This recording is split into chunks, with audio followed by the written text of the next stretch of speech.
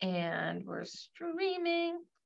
And we have Quick Change Ed, who now is not in a t-shirt. Hello. Okay. Hello. Hello. Populated. And our Facebook page is asking a little bit weird. Let me see if it actually went through or not.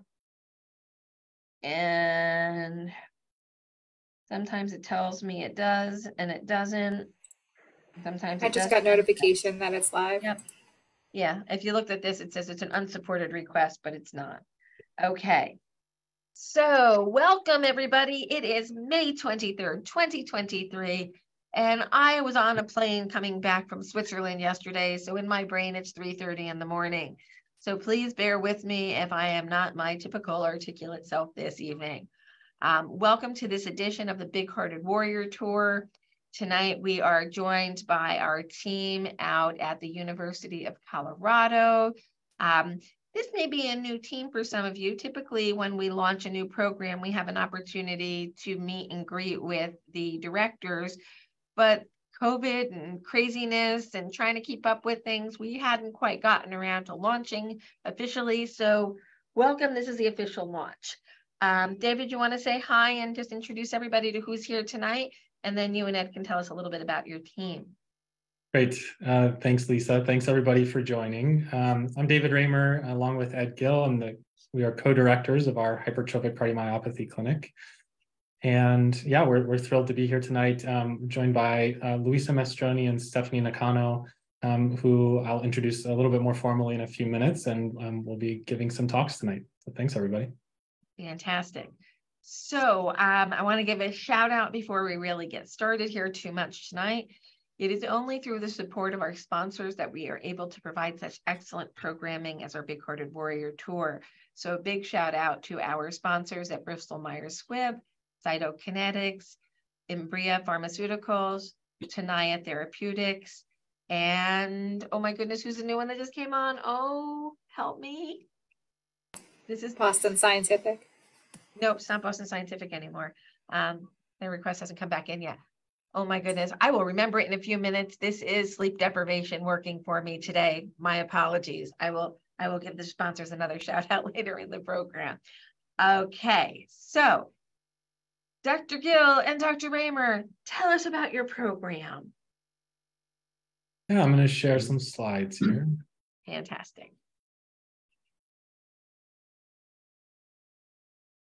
So again, thanks everybody for joining. Thanks Lisa and your team for organizing. Um, so our group, uh, we've had a hypertrophic cardiomyopathy clinic here at the University of Colorado for several years, but um, we didn't quite have the administrative support we would have liked uh, up until a few years ago. So I joined the group here just about four years ago and brought some experience from um, Washington University in St. Louis and that the timing worked out that our uh, hospital administrators were then again willing to support uh, this sort of program.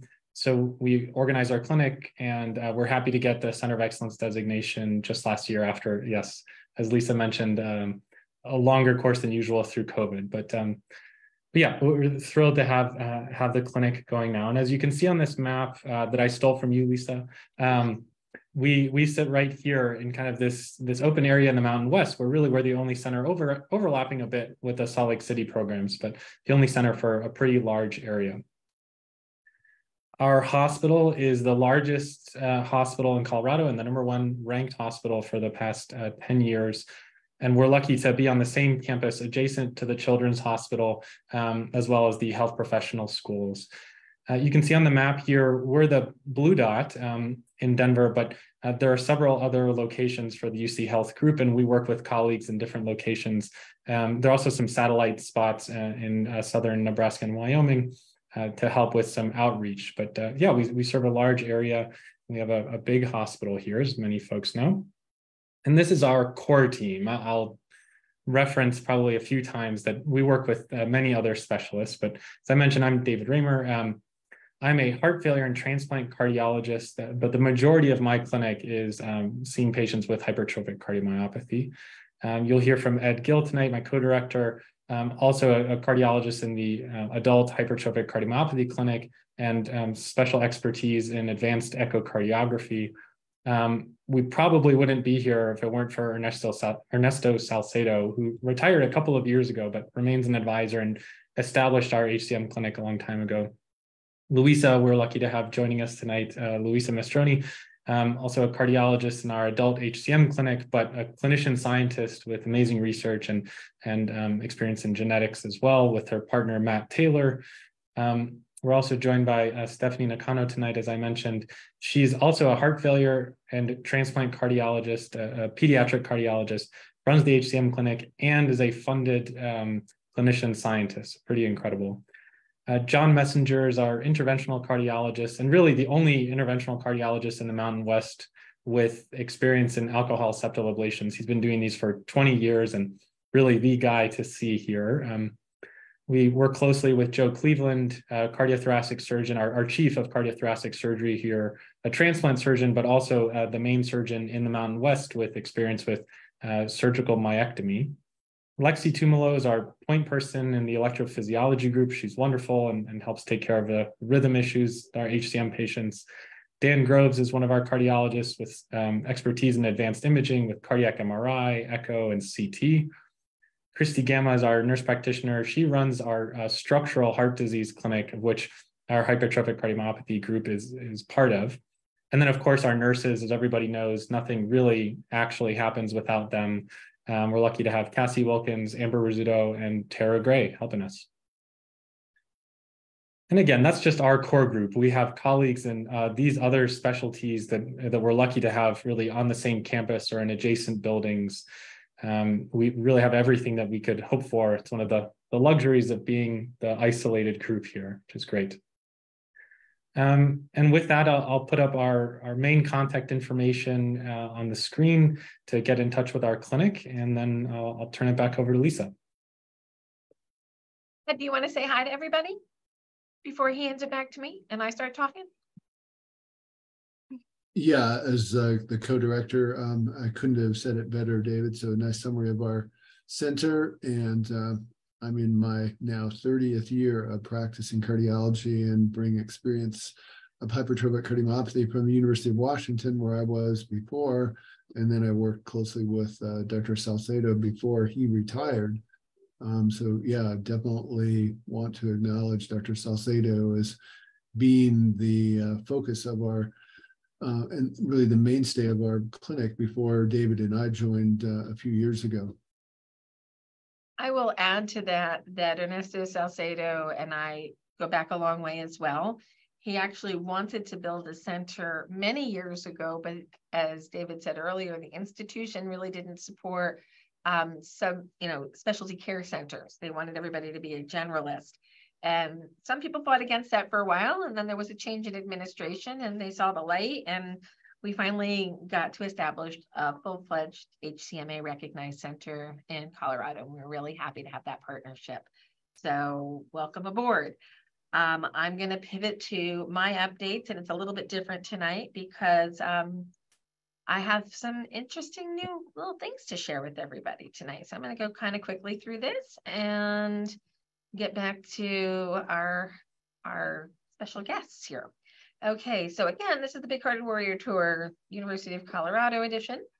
And Boston Scientific is on here, but they're not supposed to be on here. And I will remember the other new brand, oh, BioMarin. That's our other new sponsor. I knew I would remember it eventually. So this is what we have up for you this evening, ladies and gentlemen. We're going to talk about comprehensive HCM care, echoes for HCM, a primer for patients. Kids are not little adults. We love that title. And then a look into the future artificial intelligence and genetic therapy for hypertrophic cardiomyopathy. We are going to be ending with a bang tonight. So stay tuned because I'm excited to hear um, that talk because we are all learning a lot about this new space. Not that I'm not interested in the other talks, but the future is a little unknown right now. We have some amazing things coming forward. So stay tuned. Okay. Um, so I want to start talking about a problem that we have as a community. And that problem is we don't have enough of us diagnosed at this time. Right now in the United States, there are about 150,000 individuals under treatment for hypertrophic cardiomyopathy. That number should be closer to 600 to 700,000. So how are we going to find these individuals who we know are out there And many of you who are watching tonight have struggled with the challenge to diagnosis. You've been told you have a heart murmur, or you have athletically induced asthma, or anxiety, or depression, or mitral valve prolapse, when in fact it's HCM. So we've taken on an initiative called the Healthy Cardiac Monitoring Act. And this includes the cardiac portions of the sports physical that are done for all student athletes. We take those same questions and we add them into the well child examination, which is part of the law in every state in the United States under the ACA and under ERISA based programs. Every child gets a well child exam from ages 1 to 19. All we're seeking to do is train physicians on how to identify those with genetic risks for heart disease, not just HCM, but ARVC, dilated cardiomyopathy, LV non-compaction, channelopathies, and congenital defects. If we can do this in a succinct way in the established healthcare system, with their individual chosen healthcare providers, we can help more children and families get to the care that they need to properly identify and manage the child and the family with HCM or any other form of genetic heart disease. So we've made this really easy. We are stepping this out state by state, but slight maybe change in process. I've been invited to a meeting in a couple of weeks for all women in government. So women at the state legislative level and the federal, I'm going to have the opportunity to present the Healthy Cardiac Monitoring Act to this group of individuals and hope that we can develop some more champions throughout the United States. But as we do this, we're going to need your voice with your state legislators to get involved. So we've made it pretty easy. We have an online system where you can drop in your name, your story, and it'll go immediately to your individual state representatives so we can help find more patients with HCM and other diseases within your community. The process that we've come up with is sustainable, reproducible, and very cost effective. It is a bipartisan piece of legislation because I am sure of one thing Republicans and Democrats both have hearts and they both have children and they both care about children. So we don't want to get mired down in partisan politics. We just want to make some common sense legislative moves that'll help identify more patients throughout the world with HCM, specifically the United States on this one, but I'll talk worldwide in just a moment. So stay tuned for more information as to when we're going to have legislative in initiatives in your state where you can get involved. We will need people to go to state houses and provide individual testimony about their HCM experience and why it's important to get early diagnosis. Um, this is an exciting new initiative that we've been working on for a couple of months, but it's starting to get more formalized, and I think you're all going to like being part of this. So, for 27 years, I've been speaking to patients with HCM from all over the world and taking notes as I do so, but it was no, not a formal database. We've made moves to move this into a formalized patient registry, and we've got some creative opportunities with partners to really better understand the HCM patient journey and really start to speak directly to the patient's needs in new and different ways because of how we collect information here at the HCMA.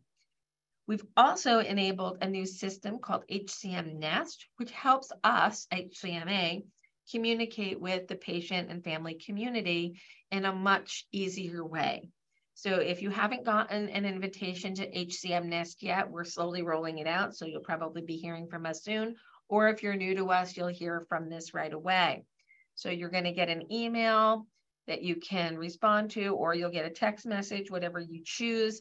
And you can set up your own HCM Nest, which will provide you with some educational material, some resources, and a new way to communicate directly with us here at the HCMA.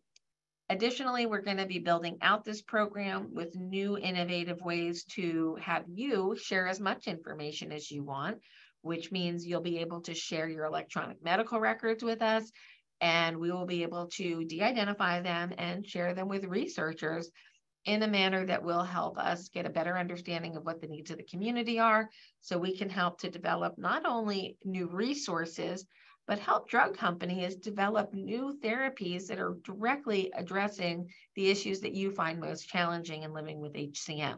So this is all just rolling out right now. As each step goes forward, you'll be communicated with through our newsletter or through other sources, such as our Big Hearted Warrior Tour, on how to get involved. And our research partners and Center of Excellence partners will be able to get involved with this initiative as well. So stay tuned for more information on this exciting project.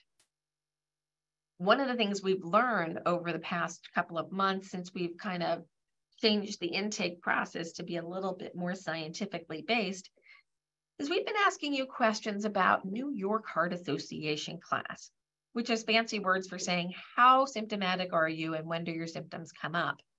This is a scale that is used by drug manufacturers and regulators to determine whether a drug is successful or not in a clinical trial. But the problem in hypertrophic cardiomyopathy, as many of you know, is we fluctuate in how we feel day to day. So we started asking patients on an average day, what New York Heart Association class are you in? On a good day, what class are you in? And on a bad day, what class are you in? You can see the circles here on the screen indicate people who were constantly in one class. So we have a number, two people that are in class two all the time, two people that are in class one all the time, and one person that's in class three. The rest of the people fluctuate on a good day or a bad day, which is very common in HCM. The interesting question is, why do we fluctuate so much? The other interesting question is, what does success look like to an HCM patient? Is it moving from New York Heart Association class three, which is highly symptomatic, to a one, which is not symptomatic at all? We'd love to see that in everybody, but is there equal value or value to being a bit more consistent so you know what to expect day to day? So we're collecting this information in a new way to maybe look at it through a different lens that maybe success to an HCM patient is knowing that they can reliably know the next day is going to be like this, whether it's one, two, or three, you have some consistency so you can plan your life. We know how frustrating it is to not quite know if you're going to be up to doing a bigger task tomorrow because you may not have the energy to do it. So we're hoping through our registry efforts and asking questions in a way that is more HCM specific that we can find ways to help patients and families live better lives with HCM. This is just one example. We also need to get to the underserved population, and I'm really happy to tell you that in the month of May, the HCM's Health Equity Committee met for the first time, and we are looking to build out communities of, uh, how do I put this nicely? Underserved communities are not just Black and white or Latino and white they are all different types of subpopulations. We know right now that most patients with HCM who are cared for at HCM centers, the overwhelming majority are Caucasians. We know we need to change that, but there's more to health equity than the color of one's skin. It includes pediatrics versus adults, rural versus urban, elderly versus young or middle aged, the color of one's skin, what community they assign to in terms of LGBTQ and other subcommunities. We need to make sure we are addressing the needs of all communities and have not only educational materials, but resources available that speak to each of those communities in the way they wish to be spoken to. We have a lot of cultural differences in the United States. We want to make sure that we're addressing them all. And then we want to make sure that we're looking at the global community as well. So there's a lot of work ahead of us, but we're excited about this initiative that we're taking part in, which is to address this issue. We are right now, this is from a uh, 2019 publication where we looked at um, ethnicity in the United States, where 61% of people were considered white, 18.5 Hispanic, 12% Black, 5.6% Asian, and then multi-race and a few other uh, uh, ethnic breakdowns below. But if you look at this graph here, the number of those who are white fall below the 50% line in approximately 2045, which is not that far away. And we need to make sure that our resources are speaking to the future of not only this country, but the world to ensure all people with HCM get access to care and aren't overlooked. What works in one population from a therapeutic basis may not work in another, and we need to make sure that our clinical trials represent reality, not who shows up at a clinic. So we need to make efforts to find more individuals from these communities and we are working towards bringing forward a program called the All Hearts Collaborative, which will help to bring educational materials directly into communities of color. And we do so in the name of Derek Armstead, an HCM warrior who was lost in 2020 to undiagnosed HCM, even though there was a significant family history. He left his little boy behind, but we're going to keep his legacy going so that his son doesn't face the same future that his father did. So I can't wait to bring you more information on that as it becomes available. I just came back from the World Heart Federation meeting in Geneva, Switzerland. When I say just came back, I came back yesterday. So in my brain, it's like 3:45 in the morning right now, and I'm really tired. Um, I pulled this statistic from the uh, 2023 report from the World Heart Federation, which kind of lays out some of the global issues that the world is facing when it comes to heart disease in general. We're not on the map yet, people. Nobody's thinking about hypertrophic cardiomyopathy on a global basis yet, but we're working on getting that information out there. I bring this to you to say that we're doing okay in the United States when it comes to understanding HCM. Not great, but we're doing okay. Excuse me. The programs that they're working on in the rest of the world are stopping smoking, creating action plans for cardiovascular disease, working with ministers of health to make sure that they have a plan to set up guidelines for cardiovascular disease, to encourage people to become more physically active. We're, they're trying to all I had a, an amazing panel with health ministers from like seven different nations talking about removing trans fats from the diets of other countries, um, which we did a while ago, but I still think we need to do more work here in the United States. Um, we want they're trying to get people to use less alcohol and they're trying to get people to use some basic cardiac drugs like beta blockers, uh, ACE inhibitors, aspirin, etc. So we're trying to help the global community understand this issue. I met a wonderful woman from sub Saharan Africa who helps talk to her community about heart disease and she's going to work with us to create information about knowing one's heart health history and trying to get people to start writing down their genealogies so they know where in their family heart disease may have come from. This is baby stepping it. And we need to get there one step at a time with people like her. She was wonderful. Um, and I met so many wonderful people at the World Heart Federation, some old friends, made some new friends, and there's a lot of work to be done globally. And I can't wait to get started on it. Um, so I have a little bit more to say about that later, but I'm going to pivot to this right now. For those who are unaware, the HCMA started the Lori Fund about two years ago, and we are now actively uh, processing grant requests for those of you who don't have the ability to get to a center of excellence due to financial concerns. And if you don't have the ability to get to a center uh, and you meet the financial requirements of the Lori Fund, you can get up to $600 per year for travel expenses, which would include trains, planes, automobiles, gas money, um, whatever kind of transportation needs you have, a hotel room, food on the road. Please don't let money be the reason you don't get to the center of excellence uh, care level that HCM hearts need. So if you think you might qualify, uh, maybe my staff can drop in the um, information to how to apply um, below there. Um, Thank you so much. I think it's in the chat now. We have a project that's running that will end on June 16th. So I encourage you to join today. It's called Drill Dr. Heart. It's actually an older program that we retooled for the internet era. Um, we want everybody to know that having an AED is really, really important. If you are a sports team, if you are a school, if you are a workplace, if you are a house of worship or community center, each group will have the opportunity to drill for a cardiac emergency with our scripting. You plan it, you film it, you post it, you share it. If you get the most votes in your classification, you can win an AED for your community. We encourage you to do so. You can learn more on the website. We make it nice and easy. Plan your drill, practice it, film it, post it. We all have a cell phone in our hand where we can provide a good video. It doesn't have to be fancy or scripted. We just want to see that you go through the motions, post it, and you can win a free AED. Thank you to um, Defibtech and to Morristown Medical Center for donating those devices. Okay, we have some printed material if you want anything for home.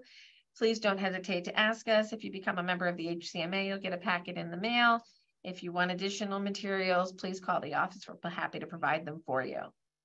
Uh, Tales from the Heart is not going to be Friday this week. It's going to be Thursday.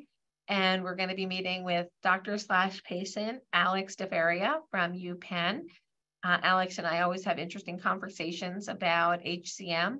Uh, for those of you who don't know, I first came to know Alex when he was a teenager, and he's not a teenager anymore. And now he's Dr. Alex, and he is one of the few, not only HCM specialist taking care of patients and also being a patient himself. So you can join us on Thursday for that Tales from the Heart. Um, and this is like late breaking news. And I know some of you will be disappointed that we're not covering it tonight, but we're going to dig in deep next week. May 30th at 6 p.m. Eastern. It's going to have a one hour session with Dr. Rachel Lampert and Dr. Sharlene Day on the results that were published last week in JAMA of Live HCM, which is a discussion of exercise in hypertrophic cardiomyopathy and competitive exercise in HCM. So please join us. May 30th, 6 p.m. You can sign up now, and we're going to take a deep dive into what that data showed us. It's very exciting, and I'm really proud of the work that we did as a collaborative team. We recruited over 2,000 patients to live HCM, and we have a lot of data to share about what's safe and what decisions you might want to stop and think about before you agree to do competitive athletics uh, but we're also going to talk about the role of exercise for all in HCM. And it's going to be a great conversation. Now, the fun stuff, just real quick. I, I just recently did a site visit at a program that happened to be in the city of Cincinnati, which happens to be the home of Fiona the hippopotamus. Why would I show you pictures of a hippopotamus? Well, Fiona was born in 2017 and she was premature and she had a really battle to stay alive. And her, her team at Cincinnati Zoo did a fantastic job. Her battles coincided with the year of my heart transplant. So I lived through watching little Fiona get through all of her milestones and struggles. And I was really, really happy that my friend happened to have connections at the zoo and we were afforded a kind of behind the scenes tour of the Cincinnati Zoo.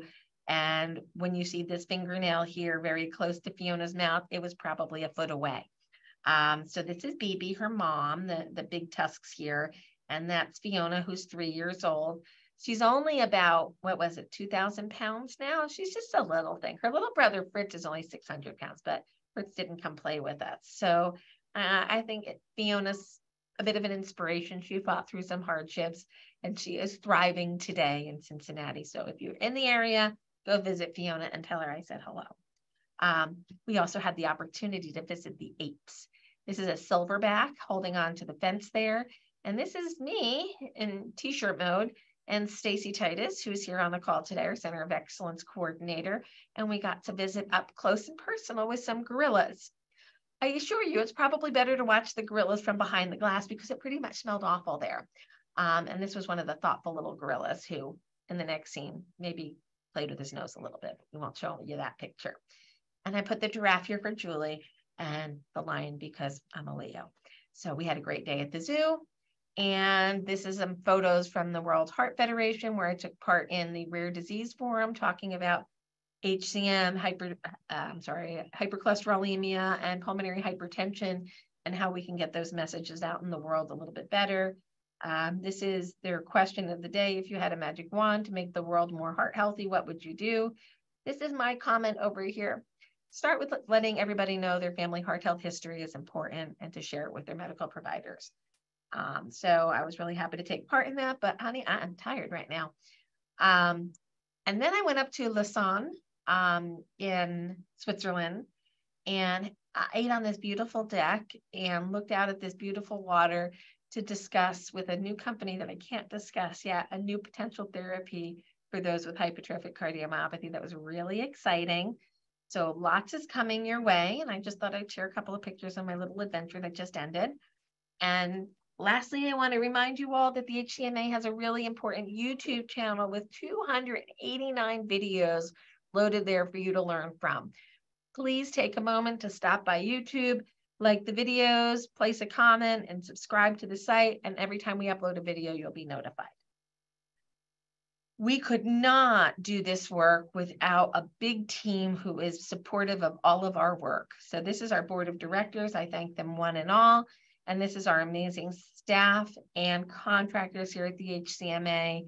I'll let you read all their names. Please keep an eye on our newsletter. You get updates from each one of our staff members every month. And that's the best way to keep in touch with everything that we're doing. And I want to thank our partners at University of Colorado, our staff, our board members, our volunteer, and as always, Brandy, my heart donor, because without her, I would not be with you here tonight. So I'm excited to hear the rest of these talks tonight. And I want to remind you all that I'm going to load a, a poll right now. So if you want to, oops, what is this? Launch this poll. We've just launched a poll. So take a moment to answer that. If you have any questions throughout tonight's uh, program, please use the question and answer button at the bottom of your Zoom screen where you can post your question and we will answer it at the breaks. And I will wrap up there. So please answer your polls now and I'll bring my faculty back on camera and we're going to hand it over to David who will give us his overview of HCM care.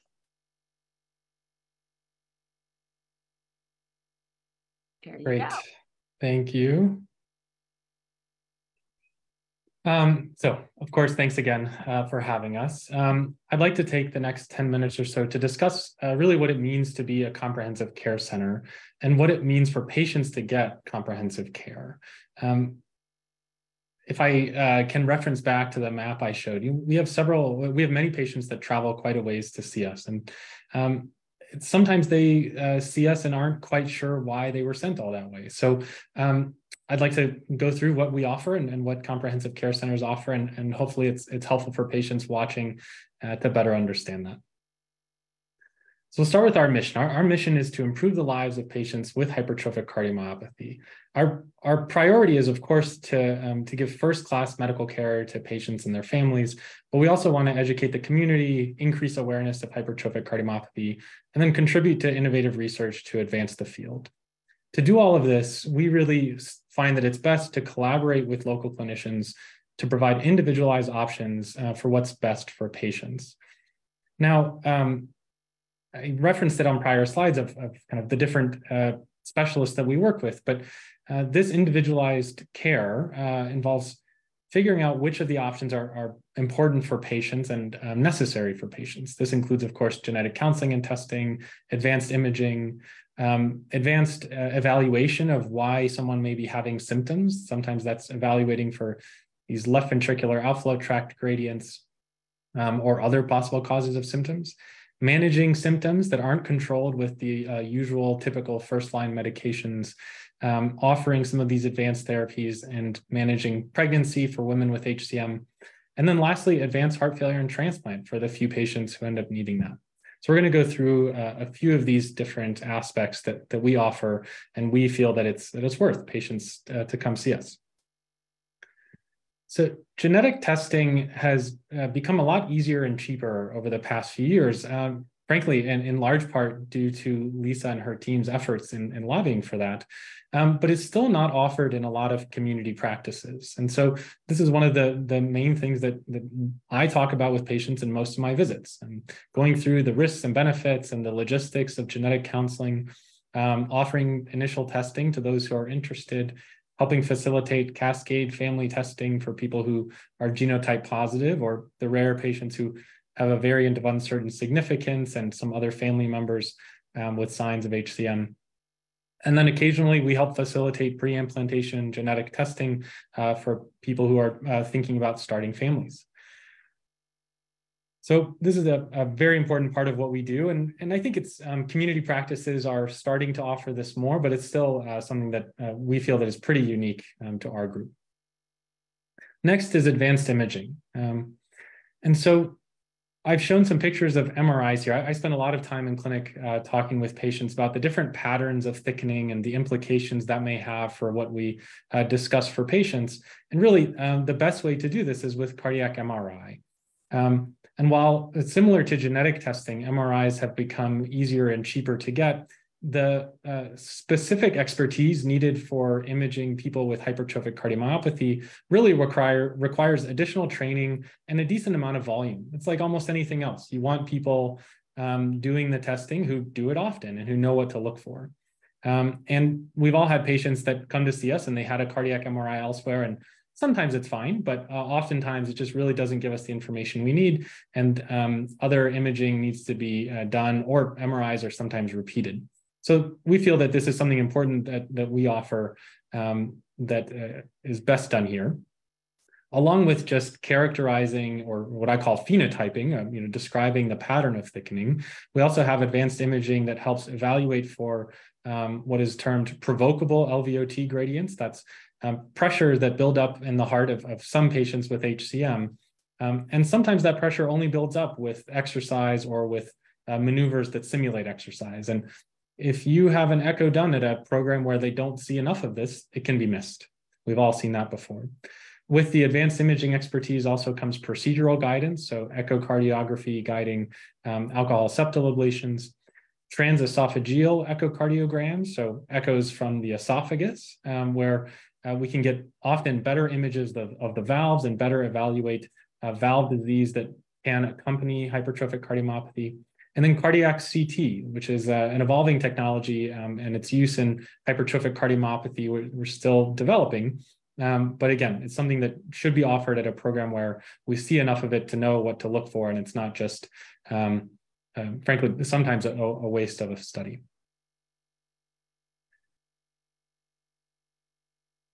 So to somewhat go along with that um, is the specific exercise testing and counseling uh, that that we can offer. And I'll take the take a moment to uh, put in a plug for Dr. Day's presentation of the Live HCM results. I've heard her talk before. She's wonderful and, and really uh, the world expert in this. So um, yeah, anyone who can uh, join that presentation should. So um, as Lisa alluded to, and, and as many of you know, you know, it's a uh, outdated recommendation that all patients with HCM across the board not exercise. And unfortunately, you know, folks who uh, don't see the patients that we do and don't uh, keep up with the, the field as, as much as we need to because it's our entire clinic, um, still give that recommendation to patients sometimes. And so they come to see us and say, I've been quite stressed that um, I was told not to exercise ever. Um, and so uh, a lot of what we do is just counsel about appropriate amounts of exercise, go through the, the possible risks and, and to make sure patients don't have some specific things that might make things riskier for them, although that's, that's rare. We can also provide uh, evaluations for competitive athletes. Um, we can help assess for unexplained symptoms, as I mentioned. And then we sometimes do ex specific exercise studies to evaluate um, the severity of heart failure in those who are unlucky and have progressive heart failure. And uh, we can also offer, offer research studies. So in this image here um, is one of our partners, uh, Bill Cornwell is kind of hiding behind the hand. Um, and he's guiding the study of a volunteer um, who you can see is uh, breathing into a mask. You can't quite see it, but he's on a bicycle. And if I can direct you to look at the right side of his neck here, that's actually a catheter, a small tube going into his jugular vein and into the heart and measuring heart pressures while he's exercising. Um, so this is one of those things that there's just no way a community practice can offer this sort of study. Um, and we're, we're lucky to work with colleagues who can offer this sort of specialized testing and evaluation and, and sometimes um, clinical studies. Of course, um, what most patients have heard of before and what we all spend a lot of time thinking and talking about is um, treating uncontrolled symptoms in obstructive hypertrophic cardiomyopathy. Again, that's patients with that high pressure buildup, as I call it, uh, in the heart. Um, and really, for patients who have symptoms that persist despite the usual initial treatments, uh, we have three main options in the modern era. Got alcohol ablation on the left, which many people, um, I'm sure Lisa and, and, and, many of my colleagues will recognize these images, but um, alcohol septal ablation on the left, the surgical myectomy in the middle, and then um, the new uh, myosin inhibitor, um, mavacamten or Camzyos on the right. In, in my opinion, and in our group's opinion, all of these options should be discussed uh, together. Um, really, for a patient to get the best sense of what is best for them, I think you should have an unbiased explanation of the risks and benefits of all of these. And so that brings us to our multidisciplinary clinic. So um, we call it our HCM clinic, but this is really a dedicated clinic to discuss those, um, what I call advanced options for um, obstructive HCM that is symptomatic. So our clinic, our, our group that sees folks in, in this multidisciplinary clinic, so Cassie Wilkins, who um, is the nurse who helps run this clinic, Christy Gamma, our nurse practitioner, again, in our structural heart disease group, either myself or Dr. Gill, um, and then John Messenger, our interventionalist, and Joe Cleveland, our surgeon. So you hear from the whole group um, different perspectives on the condition, on the different aspects that are likely causing symptoms, um, you know, assessments of risks and benefits, and together we decide with the patient what we feel is the best first approach. Uh, these visits, we do our best. And, you know, no one's perfect, but we do our best to coordinate these visits to minimize travel for folks coming from far away, reducing, um, you know, extra testing when possible and extra visits when possible, and allowing for a pretty long visit, but um, an extensive discussion of all the different options and the risks and benefits. Um, and this is definitely something that's just not offered in the community. And this you should hear from you know the experts who do these procedures most frequently in the region um, and then the folks who see patients who have this the most in the region uh, to get the best information to help you make your best decision so lastly thankfully uh, not that common but um, we offer heart transplantation for those unlucky patients who progress um, we have grown our transplant volume a lot in the past few years. Our, our typical volume uh, is kind of around the 40 transplants per year. Last year we did 62, and this year we're on a similar pace. So that's uh, that was intentional. Our, our, program is intentionally growing. Um, we're a top 15 program nationally, and uh, the, the, largest program again, um, kind of in the Mountain West.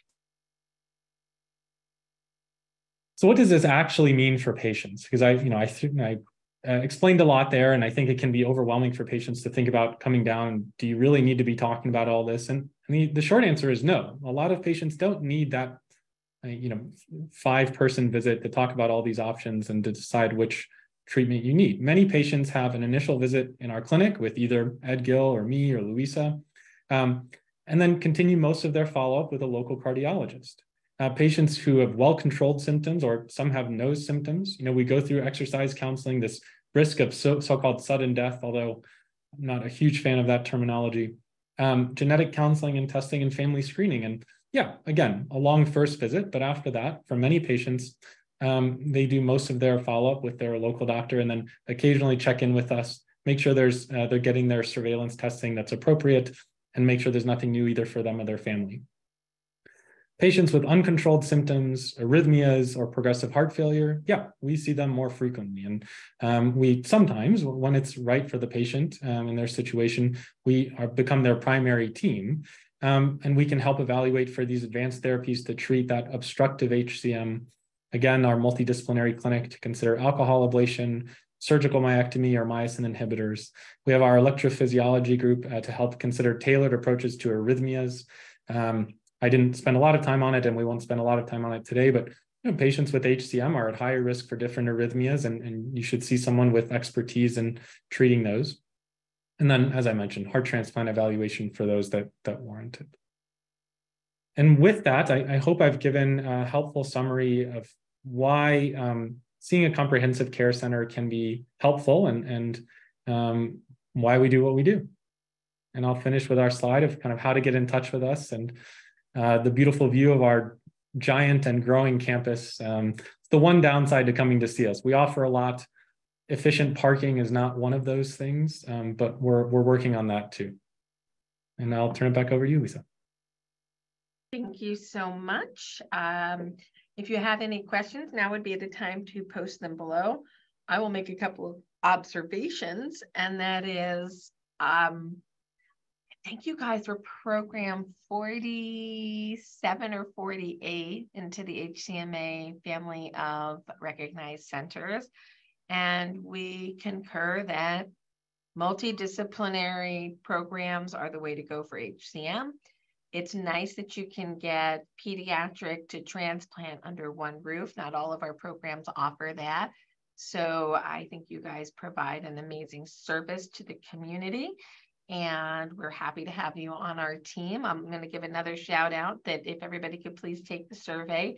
Um, at the end of the next talk, we will kind of review who's here watching so that when we're answering questions, we're speaking to the audience. You're not a very questioning audience tonight as our Q&A box is currently empty and I don't typically get this far into a night with an empty Q&A box. So might want to start formulating your questions now. Um, okay, who do we have up next? Is that Ed up next? Yes, I think the good Dr. Gill will be good. Dr. Gill is helping gonna... introduce some concepts of echocardiography. Aha, there he goes. He's not on camera, but his screen is up. So Ed, pull yourself off mute, please, and bring your camera up.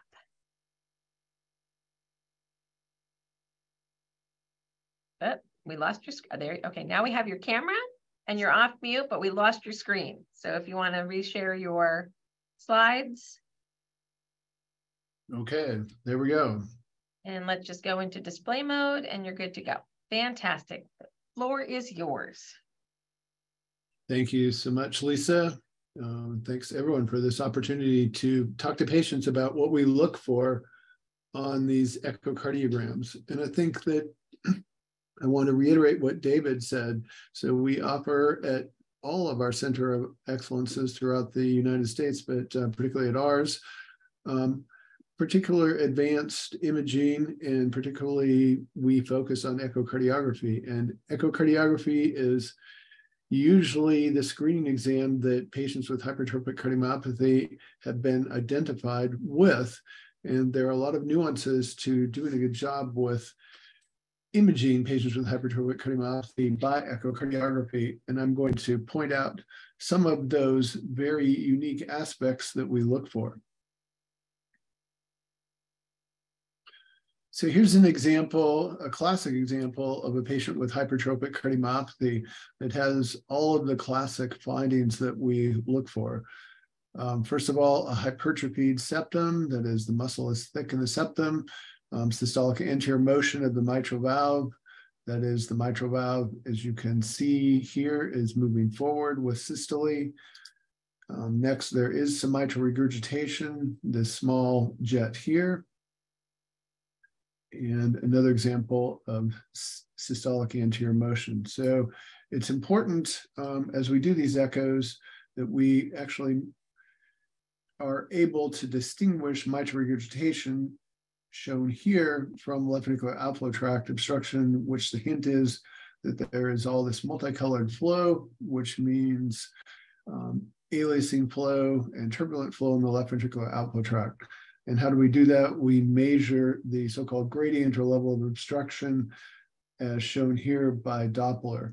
And the Doppler has a very characteristic um, component that it looks like a dagger. And so a late peaking gradient is typical of hypertrophic cardiomyopathy. And here we are showing a couple of examples of first on the left, the same thing that I just showed you, just emphasizing it a bit more. So here our Doppler sample volume, if you will, is placed in the left ventricular outflow tract. And the way that we do that is this small little circle is placed so that it is focused on the left ventricular outflow tract but we want to make sure that we're not getting levels of obstruction seen somewhere else. And I'll get back to that in a moment. And here's an example at rest and then with Valsalva. Often with Valsalva exams, we get much higher gradients that we other that we otherwise would not have identified um, without doing that maneuver. And I want to just show a, a brief case that we recently published uh, where we actually were able to improve mitral regurgitation with alcohol septal ablation. And so what we're seeing on the left here is this very brilliant multicolored jet in the left atrium emanating from the mitral valve, indicative of severe mitral regurgitation pre-alcohol septal ablation, and then post-alcohol ablation we have virtually no mitral regurgitation.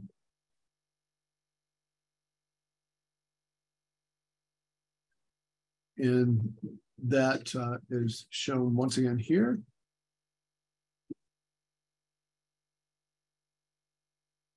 And in a different view. So I was showing you from the apical view. This is our so-called parasternal long view with the mitral valve shown here, the aortic valve, the left ventricle.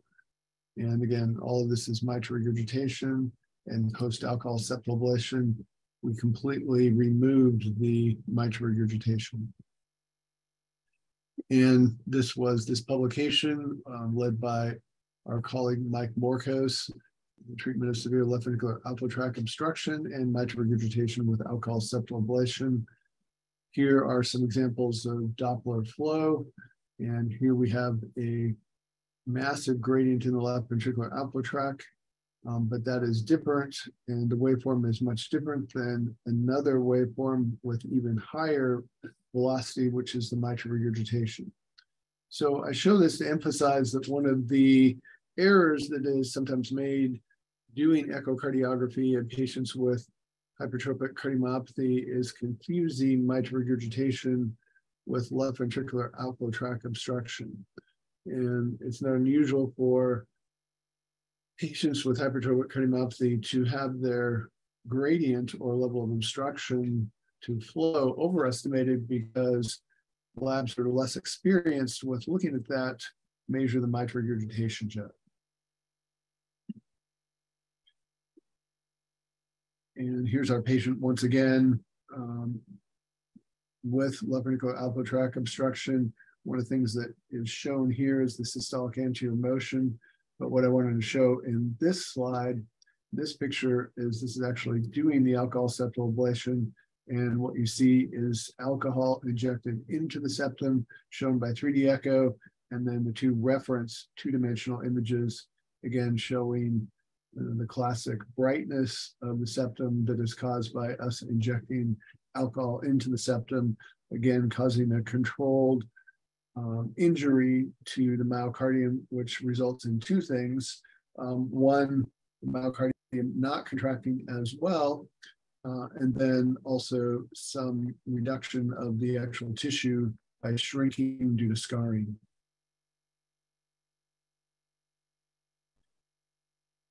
Now, not all patients with hypertrophic cardiomyopathy have gradients. Uh, and here's a classic hypertrophic cardiomyopathy patient with no gradient.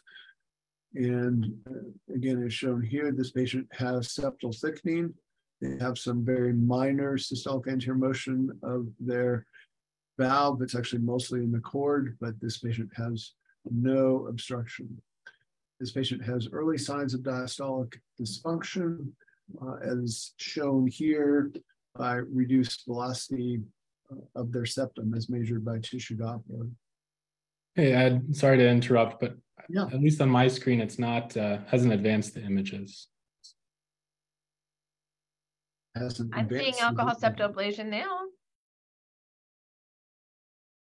You want to go back a slide in front of slide and we'll. So here's the alcohol septal ablation. Um, gee, Okay, I see classic patients with no gradient. And, So here's classic patient with no gradient. mhm, um, go ahead again. I can, I could see it on my screen, David. I don't know if maybe your technology just held up a little bit. So now we're at apical variant of hypertrophic cardiomyopathy. Is that, is everyone seeing that? I'm seeing, well, now I'm back to classic HCM patient with no gradient. And apical variant is there now. Okay. So maybe there's a slight lag. Yeah, there might be a lag. I think we're good though. Okay. Thanks, David. Yeah, no, thanks for slowing me down perhaps here. Um, anyway, so here, not all patients have hypertrophy of their septum. Um, there is the so-called apical variant, and this is the so-called spade sign where we inject contrast into the ventricle, the left ventricle, and we have contrast here, and the hypertrophy in these types of patients uh, is at the apex. And so what we see is the spade that is caused by the cavity being particularly small at the apex and the myocardium, the heart muscle being particularly thickened there. The thing that you need to watch out for for patients that have the apical variant of hypertrophic cardiomyopathy is they are prone to develop apical aneurysms, and that in itself is an indication for um, internal cardio defibrillators or ICDs. Slide still advancing okay, Lisa? Looks see- great. I see near apex, at apex, clear apical view. Yeah, okay. Thanks. So these patients, you need to look particularly closely at their apex. And so this is a particular skill uh, of sonographers. And we recently did a program where we educated sonographers of how to particularly look at the apex because sometimes these aneurysms, particularly shown here in this apical view, are missed. And there are two ways to look at that. One is to cone down in the short axis view here is near the apex, you see no aneurysm. And then actually at the apex, we're seeing the aneurysm. And so this is a cross-sectional cut of this view showing the apical aneurysm. And you can see in this particular patient, like most HCM patients, they're very hyperdynamic in most of their ventricle, but out at the apex, there is no contractility and that area is aneurysmal. Here we add contrast to the picture, and we can see that uh, again the apical aneurysm, and we see sluggish flow in this area of the heart.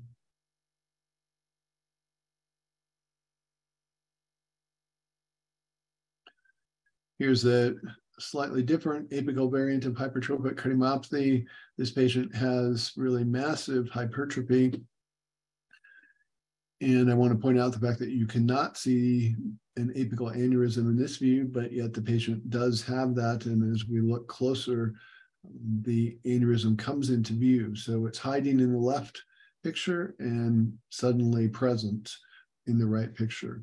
And finally, in the strain picture in the far right, we show that the strain is markedly abnormal. So normal strain should be essentially greater than minus 18, and the strain in this case is only minus 7. So even though it appears that the heart is contracting very strongly, the actual strain is actually remarkably low.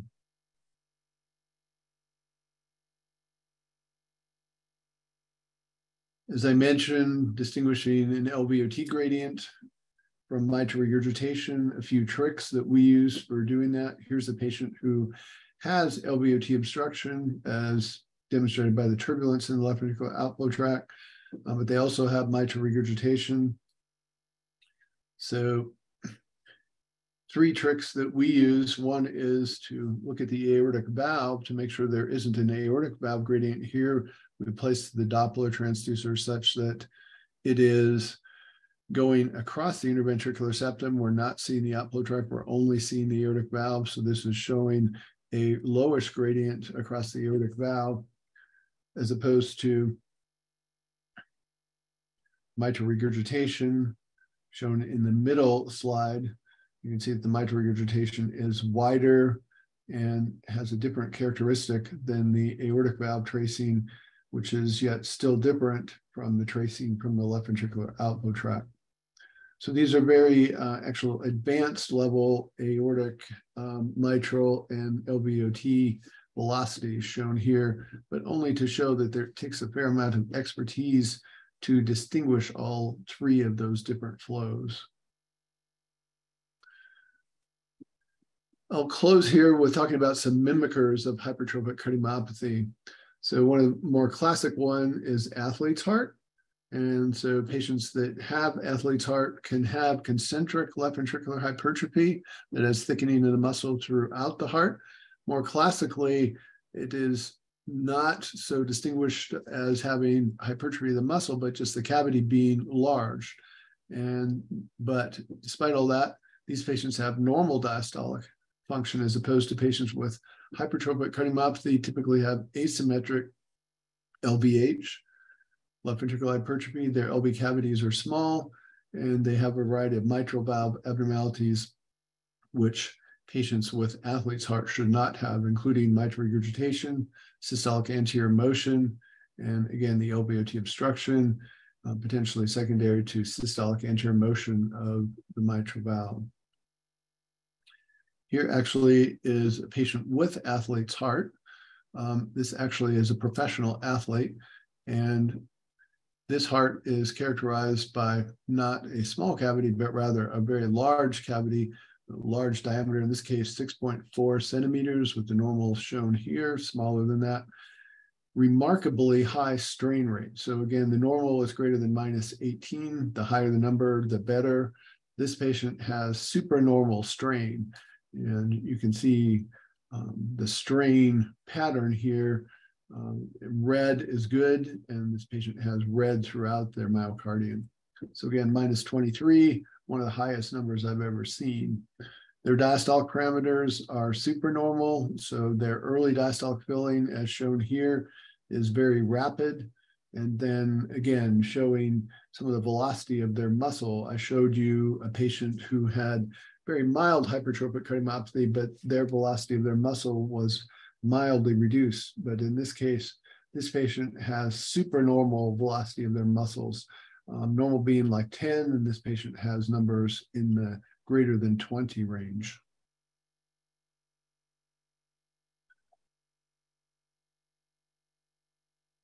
So here's some examples of one of the other big mimickers of hypertrophic cardiomyopathy is amyloid. These patients can have thick muscles, um, they typically don't have uh, outflow tract obstruction. Um, they both have diastolic dysfunction. Again, amyloid typically doesn't have outflow tract obstruction, whereas hypertrophic cardiomyopathy does. Um, but they do have very characteristic difference to their strain pattern, with amyloid having characteristic pattern of cherry on top and uh, hypertrophic cardiomyopathy having reduced values in the septum. So here's the cherry on top pattern. So the apex is cherry colored, if you will, and then the rest of the heart is much lighter, indicating the rest of the heart is not contracting nearly as well as the apex is. And then just to look at all of the different patterns that we might see. So here's a healthy control. Here's a patient with hypertension. So some areas of decreased strain, patient with cardiac amyloidosis, uh, again with the cherry on top pattern, the apex being very red, uh, normal, but the bases being abnormal. And then finally, the patient with hypertense, hypertrophic cardiomyopathy, their septum is typically abnormal, uh, with the rest of the heart being hyperdynamic. Fabry's is another uh, mimicker of hypertrophic cardiomyopathy. And you can see the difference again is that both have typically increased wall thickness, um, but Fabry's typically does not have outflow tract obstruction, but it can. Uh, diastolic dysfunction present in both. And the big thing that is different is the thinned basal posterior wall is characteristic of Fabry's disease and uh, not present in hypertrophic cardiomyopathy. Hyperdynamic versus hypertrophic cardiomyopathy. Um, typically, they don't have outflow tract obstruction. Hypertension um, typically don't have outflow tract obstruction. And finally, subaortic membrane versus hypertrophic cardiomyopathy. Um, these patients have a subaortic membrane, and because of that, they have a fixed obstruction as opposed to dynamic obstruction from hypertrophic cardiomyopathy. So that summarizes several mimickers of hypertrophic cardiomyopathy that makes our job very challenging from day to day in terms of distinguishing a patient who truly has hypertrophic cardiomyopathy versus some other problem.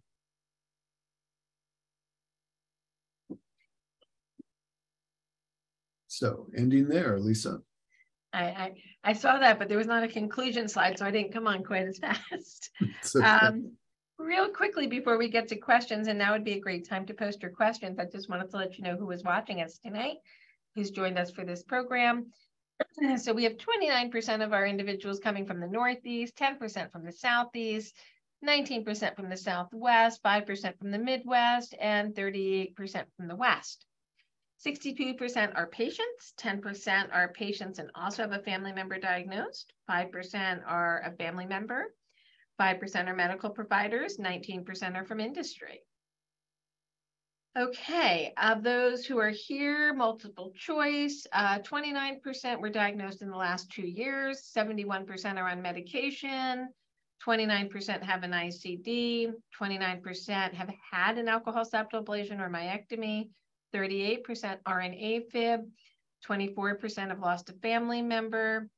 I'm the only transplant here tonight. Um, 43% have had genetic testing. And right now we have 5% are considering septal reduction but have not done it yet. And 14% are considering a new medication or device at this time.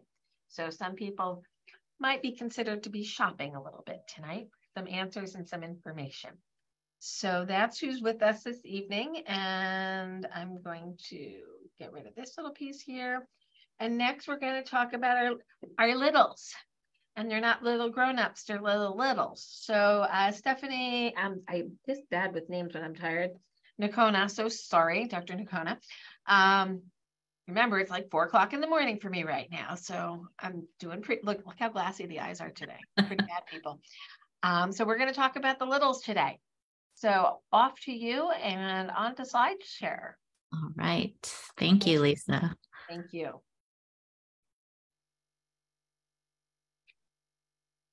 Make sure we're up. Good to go. Okay, perfect. Well, thank you again, Lisa, and um, for the team at the um, at the big hospital, I guess I'll call it, um, for uh, including me in this set of talks. I think um, all of our families um, come in, you know, kind of deer in the headlights, um, not really knowing what to expect. And I think um, these videos and all the educational information um, has been really great to be able to refer uh, patients and their families to. So um, I'll just briefly go over, um, you know, who we see in the pediatric cardiomyopathy clinic and why they were referred to us, um, just to give some background. So I would say the most common indication that kids are referred for evaluation by our group is um, because of family history. So, um, somebody in their family was diagnosed with hypertrophic cardiomyopathy.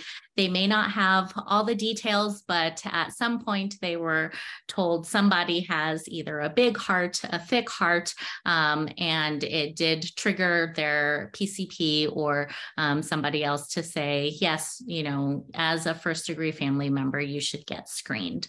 So I would say um, this is a win for us because we definitely get to um, see patients early on in the course, be able to uh, discuss what we're looking for and how often we should see them um, before something um, dramatic or tragic happens. Um, and then I would say the second most common indication we see kids in our clinic is um, there was something that triggered a referral, not necessarily symptoms from the patient themselves, but perhaps they went to a new pediatrician and that pediatrician heard a murmur that was never discussed with them before, um, or they got a EKG maybe as part of a sports physical or sports participation. Um, and there were things on that EKG that were flagged as abnormal. So they were told to uh, see a cardiologist. And in some cases, usually in our young patients, um, if there is a concern for a particular syndrome that uh, could be associated with hypertrophic cardiomyopathy, then they get referred to us for evaluation. And lastly, the patients who are symptomatic at the time of presentation. This is definitely our rarest group, but um, certainly an important one to consider. So anybody that has had fainting during or immediately after exercise, definitely a, re- a red flag that we encourage uh, pediatricians and families to see a cardiologist for evaluation. And um, unfortunately, some uh, patients are diagnosed after a sudden event happens. So, uh, sudden cardiac death where uh, they were resuscitated, thankfully, and um, and then their diagnosis was made after that. So this graph on the right just shows how significant uh, hypertrophic cardiomyopathy is in the pediatric population. Um, it's an older study, but still um, we want all children with hypertrophic cardiomyopathy to um, survive as long as possible, free of transplant, free of any adverse events. And um, certainly the lowest line there are, are infants that are less than one year at the time of diagnosis. And we would hope that all those other lines um, in the future will stay closer to that 100% mark. And so I will just kind of give an outline of um, some major areas where I see differences between pediatric and adult hypertrophic cardiomyopathy patients. And then I'll spend a little bit more time talking about that last bullet, which is the risk stratification for sudden cardiac death.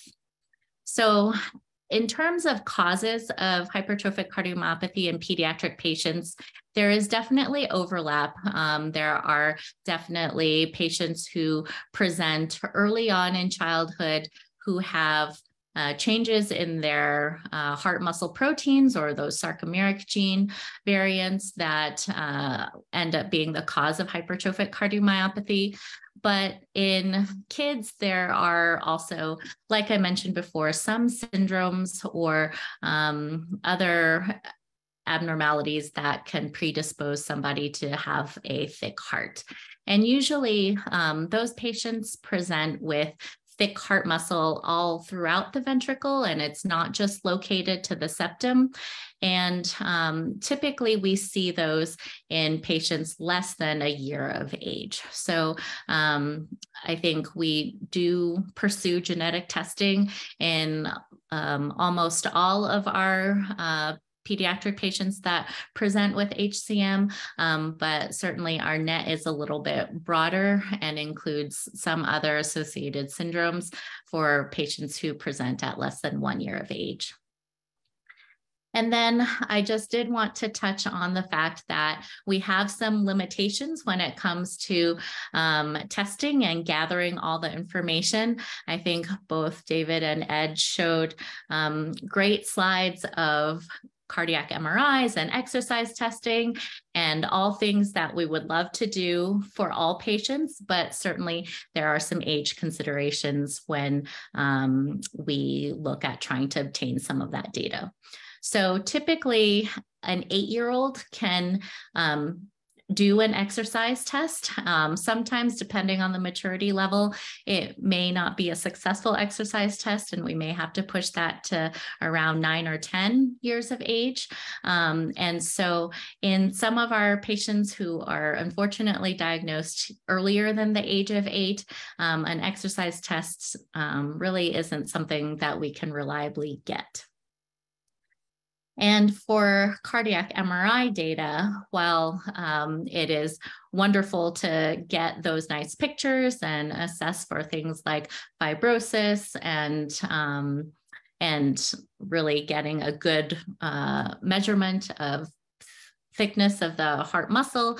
Um, this would require sedation if a patient is less than 10. And sometimes even our older patients, our teenagers, if they have anxiety issues, they just can't handle doing the cardiac MRI, which um, at our center is about an hour and a half in the scanner to get all the necessary pictures.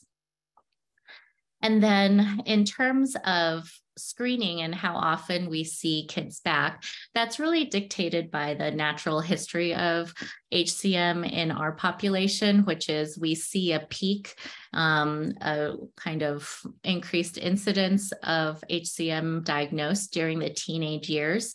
So typically, if we're screening somebody for development of HCM, let's say one of their parents has HCM, we actually see them back in clinic every year to check on their heart to see if they are going to develop HCM. And I think that screening frequency is um, you know much more aggressive during that time because um, we think that's the uh, time frame where um, hypertrophy can develop more quickly.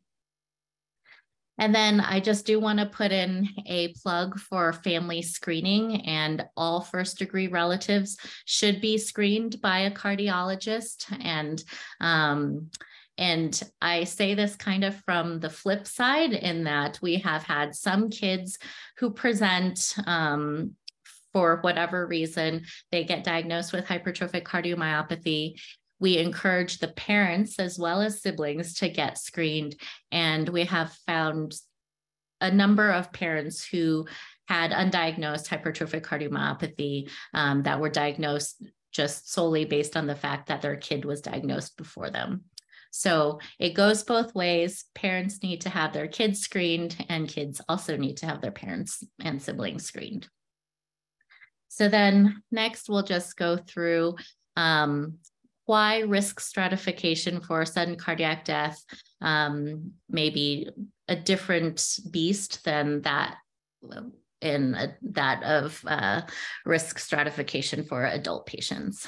So um, until recently, uh, it was really unclear what risk factors put a child with HCM at risk for a sudden event versus an adult? Are were the risk factors the same or not? We just didn't really have much data to go by. So in the absence of data, we did extrapolate the risk factors from adults to kids. But uh, recently we were able to um, kind of um, pull together data from lots of different sites across the country and internationally, actually, in order to really look specifically at the pediatric population and determine whether the risk factors, um, whether the risk factors in kids were actually the same as in adults or not. Um, and I think this risk assessment also has to be done um, with the knowledge that um, placing an ICD, which is um, what we would recommend for somebody who is high risk for a sudden cardiac death event, is um, is often the risk to benefit ratio is different in kids. So ICDs in kids um, have an increased rate of inappropriate shocks. Um, because the body is still growing and kids are generally much more active, um, they do also have an increased risk of lead fractures. Um, from uh, just growth and activity.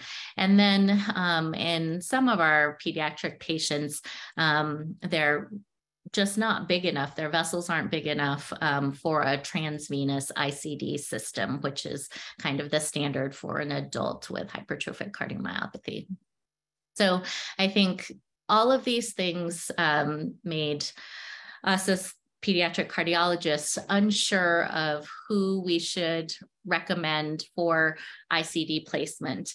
And um, we were able to um, again, pool our data to try to come up with some kind of risk stratification, putting patients in a low, medium, or high risk of having an event over the next five years. So this was published in circulation in 2020, which is again a multi-center study um, to look at what factors are really important when um, trying to predict a pediatric HCM patient, whether they will have an event in the next five years. And in general, we found that there were a number of factors that were similar between children and adults. So if you've fainted before, if um, you've had a type of an arrhythmia called non-sustained ventricular tachycardia on a Holter monitor, if your heart muscle is um, very extremely thick. Um, and if your left atrium is more dilated than it should be, those are all things that are similar in adult patients that would put you at increased risk for having a sudden cardiac death event.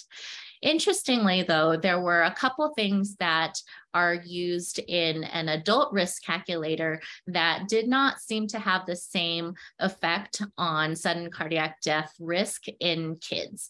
So, for one, age was um, had a different relationship. So we see that our older kids are at higher risk for a sudden cardiac death event, whereas in adults, the younger um, adults are at higher risk. And I think that just reflects the um, the kind of peak population where um, where HCM is diagnosed and um, and it just um, it has to do with what perspective you're looking at things through, whether you're a pediatric or adult.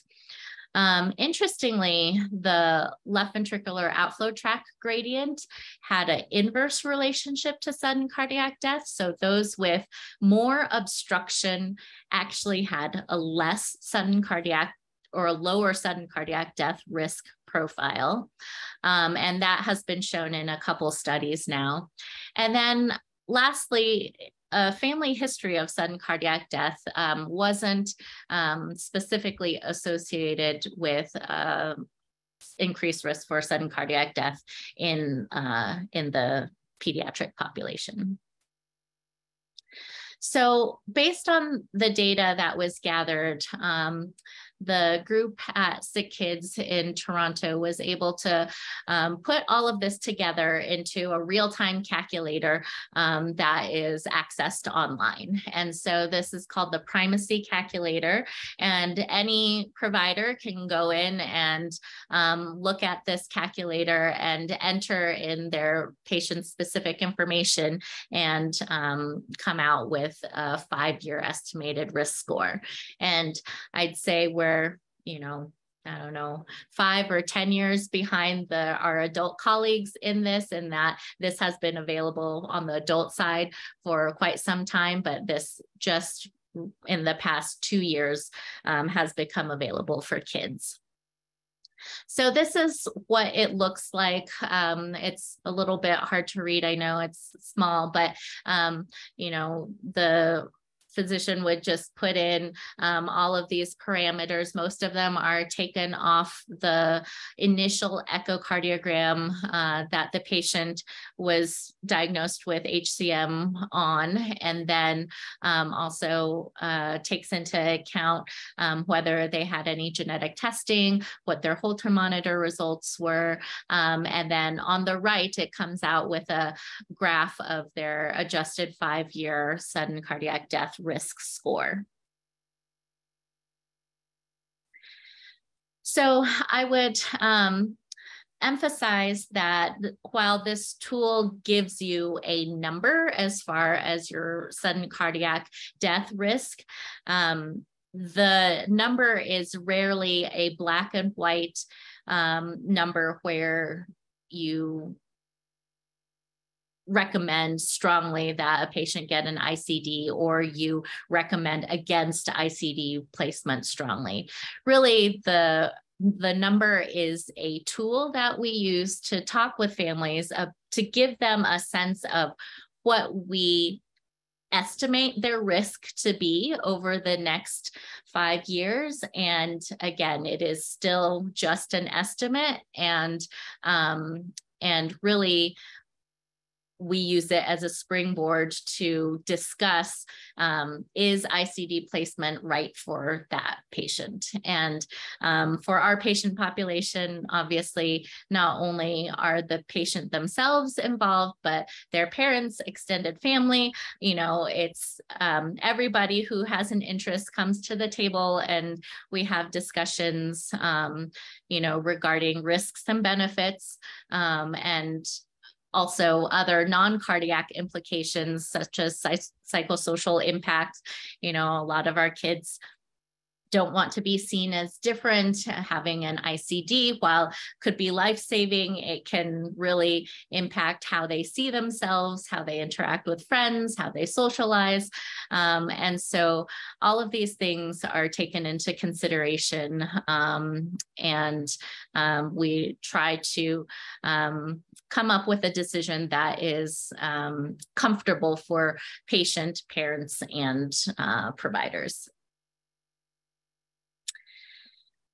So, in conclusion, I think we've found that um, pediatric HCM patients certainly have a number of features that overlap with adult HCM patients, but it's still important to remember that there are certainly features that um, differ in the pediatric population compared to adults. Um, and then I would highlight that pediatric focused HCM research is sorely needed. Um, you know, it took us a long time to come up with that risk calculator. Um, and I think it's being widely used and utilized now, but um, things like mavacamten or the um, next, you know, big thing could really benefit this population tremendously. And um, I don't want our uh, our patients to be, um, you know, at a disadvantage just because of their age.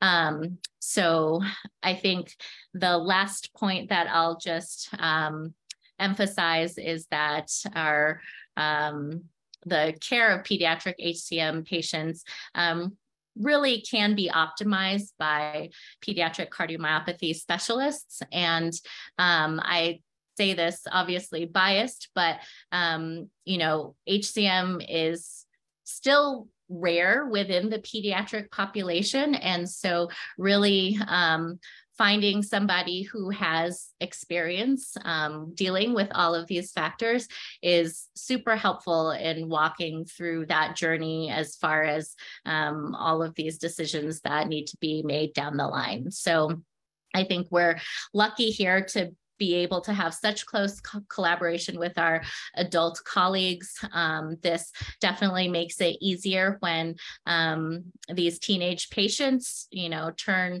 21 and they need to transition to an adult provider. Um, that transition becomes much easier when they know that we all talk to each other and have similar approaches. Um, and then again, just having a provider who um, has a consistent approach and experience with this patient population and doing that shared decision making.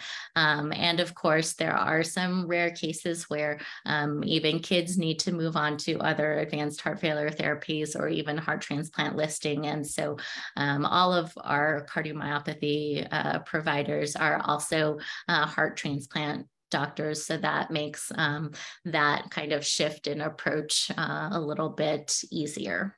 So fantastic. And I have some positive news to share if you've not already heard it.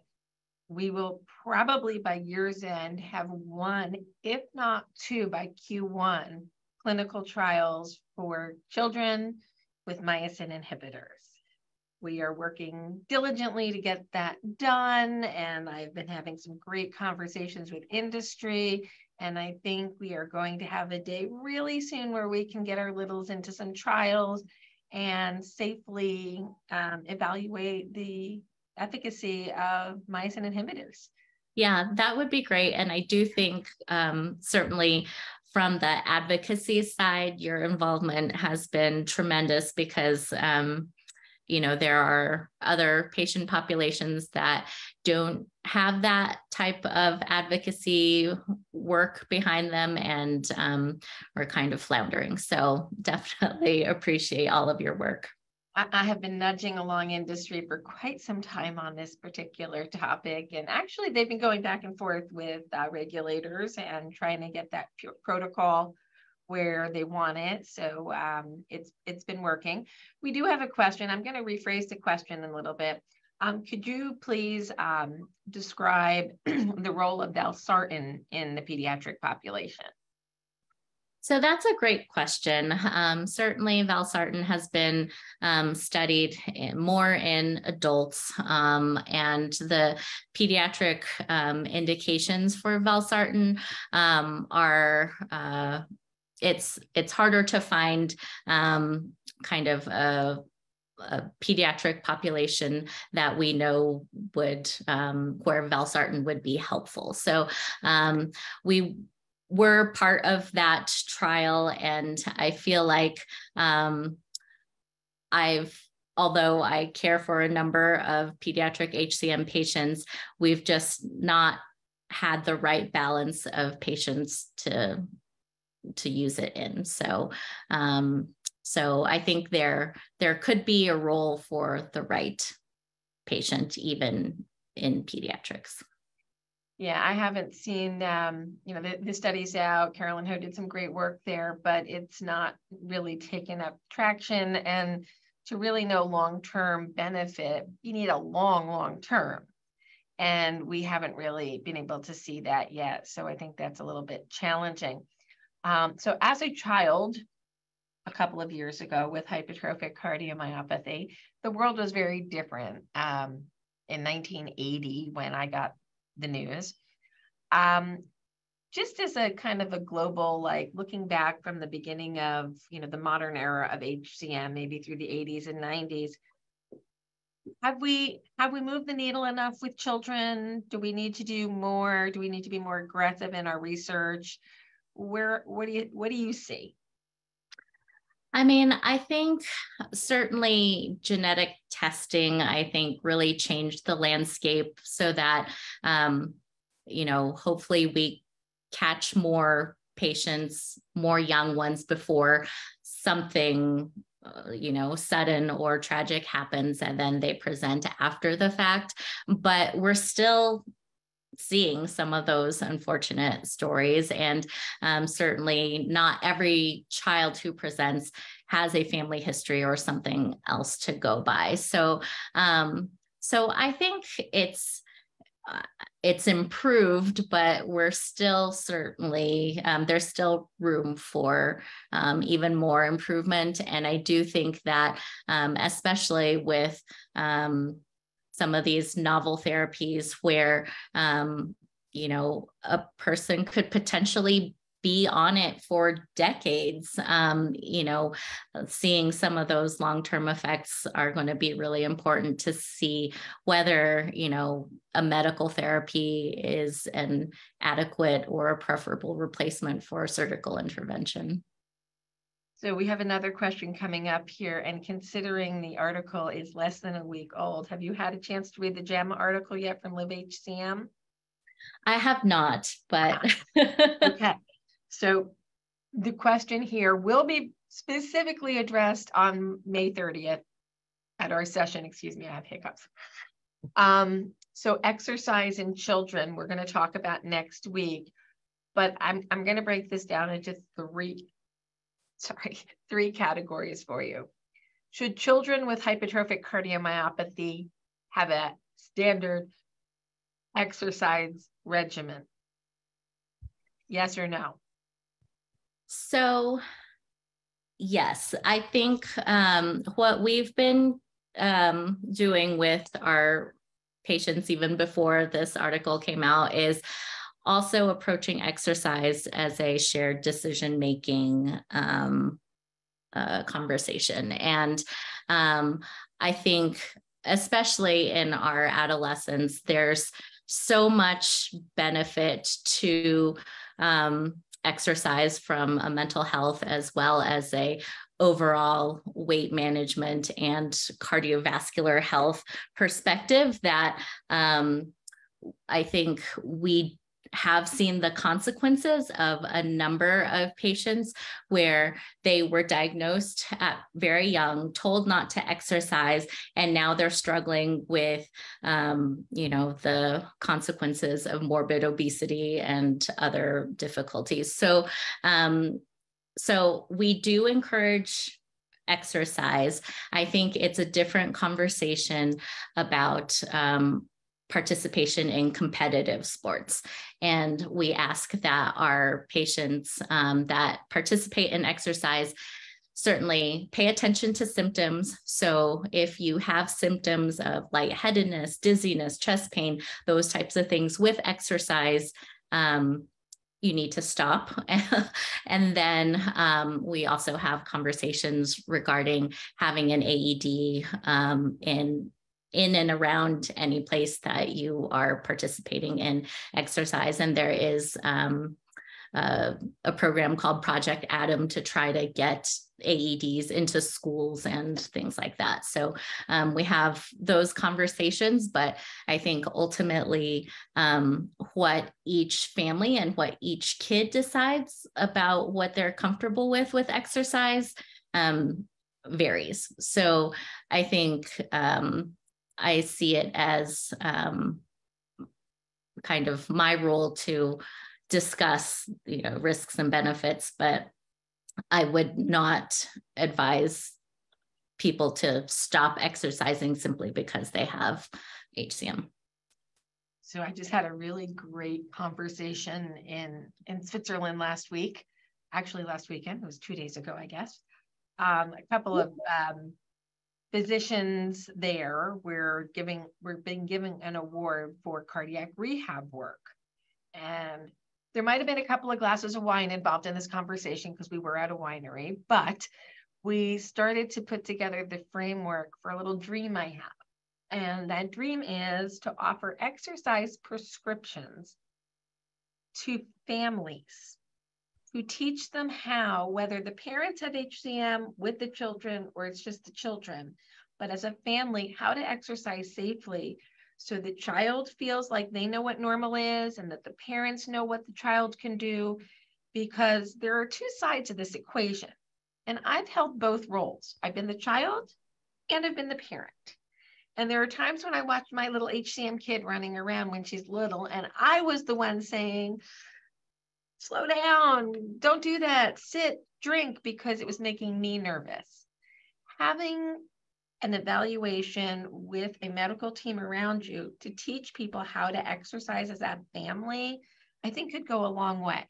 So we're going to start some work on that. I might be giving you a call, talk about what that might look like, but bringing the families together and teaching everybody how to exercise safely keeps weight down, gets rid of obesity, diabetes, helps with that stress management, and lets everybody feel like they know what safe looks like and feels like.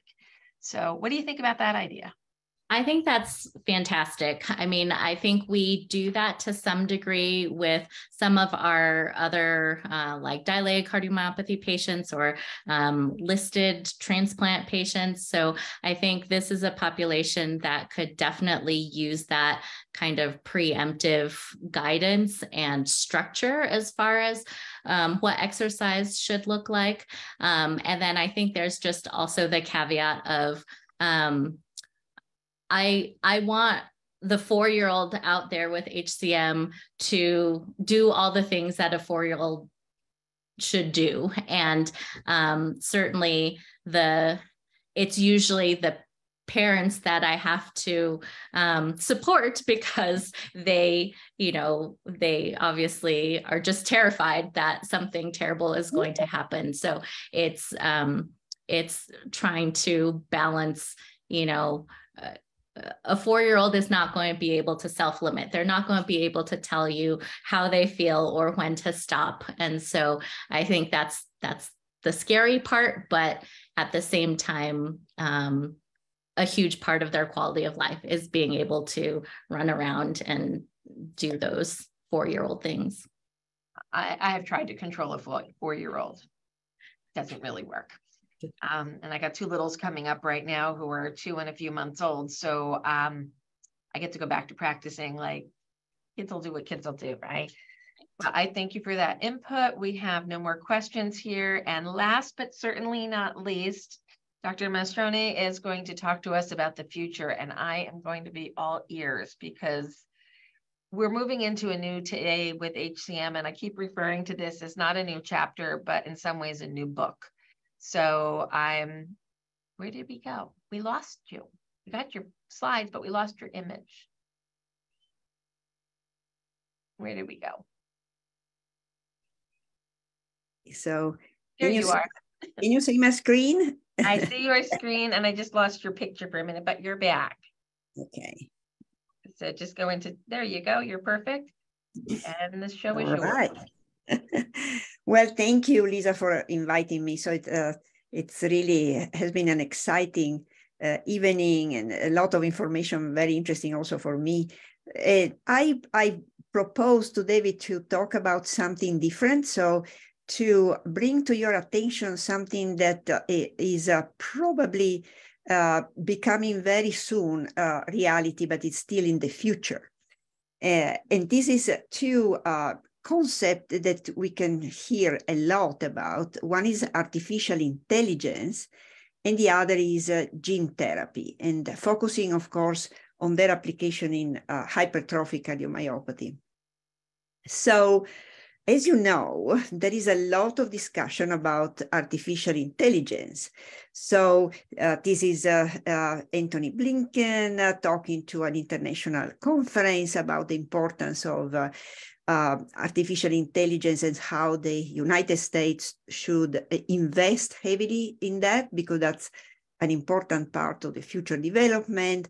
You certainly know also about the discussion that has been between Elon Musk and other uh, major uh, people involved in uh, computer science and Bill Gates that is here uh, shown about the risk of uh, and benefits of artificial intelligence.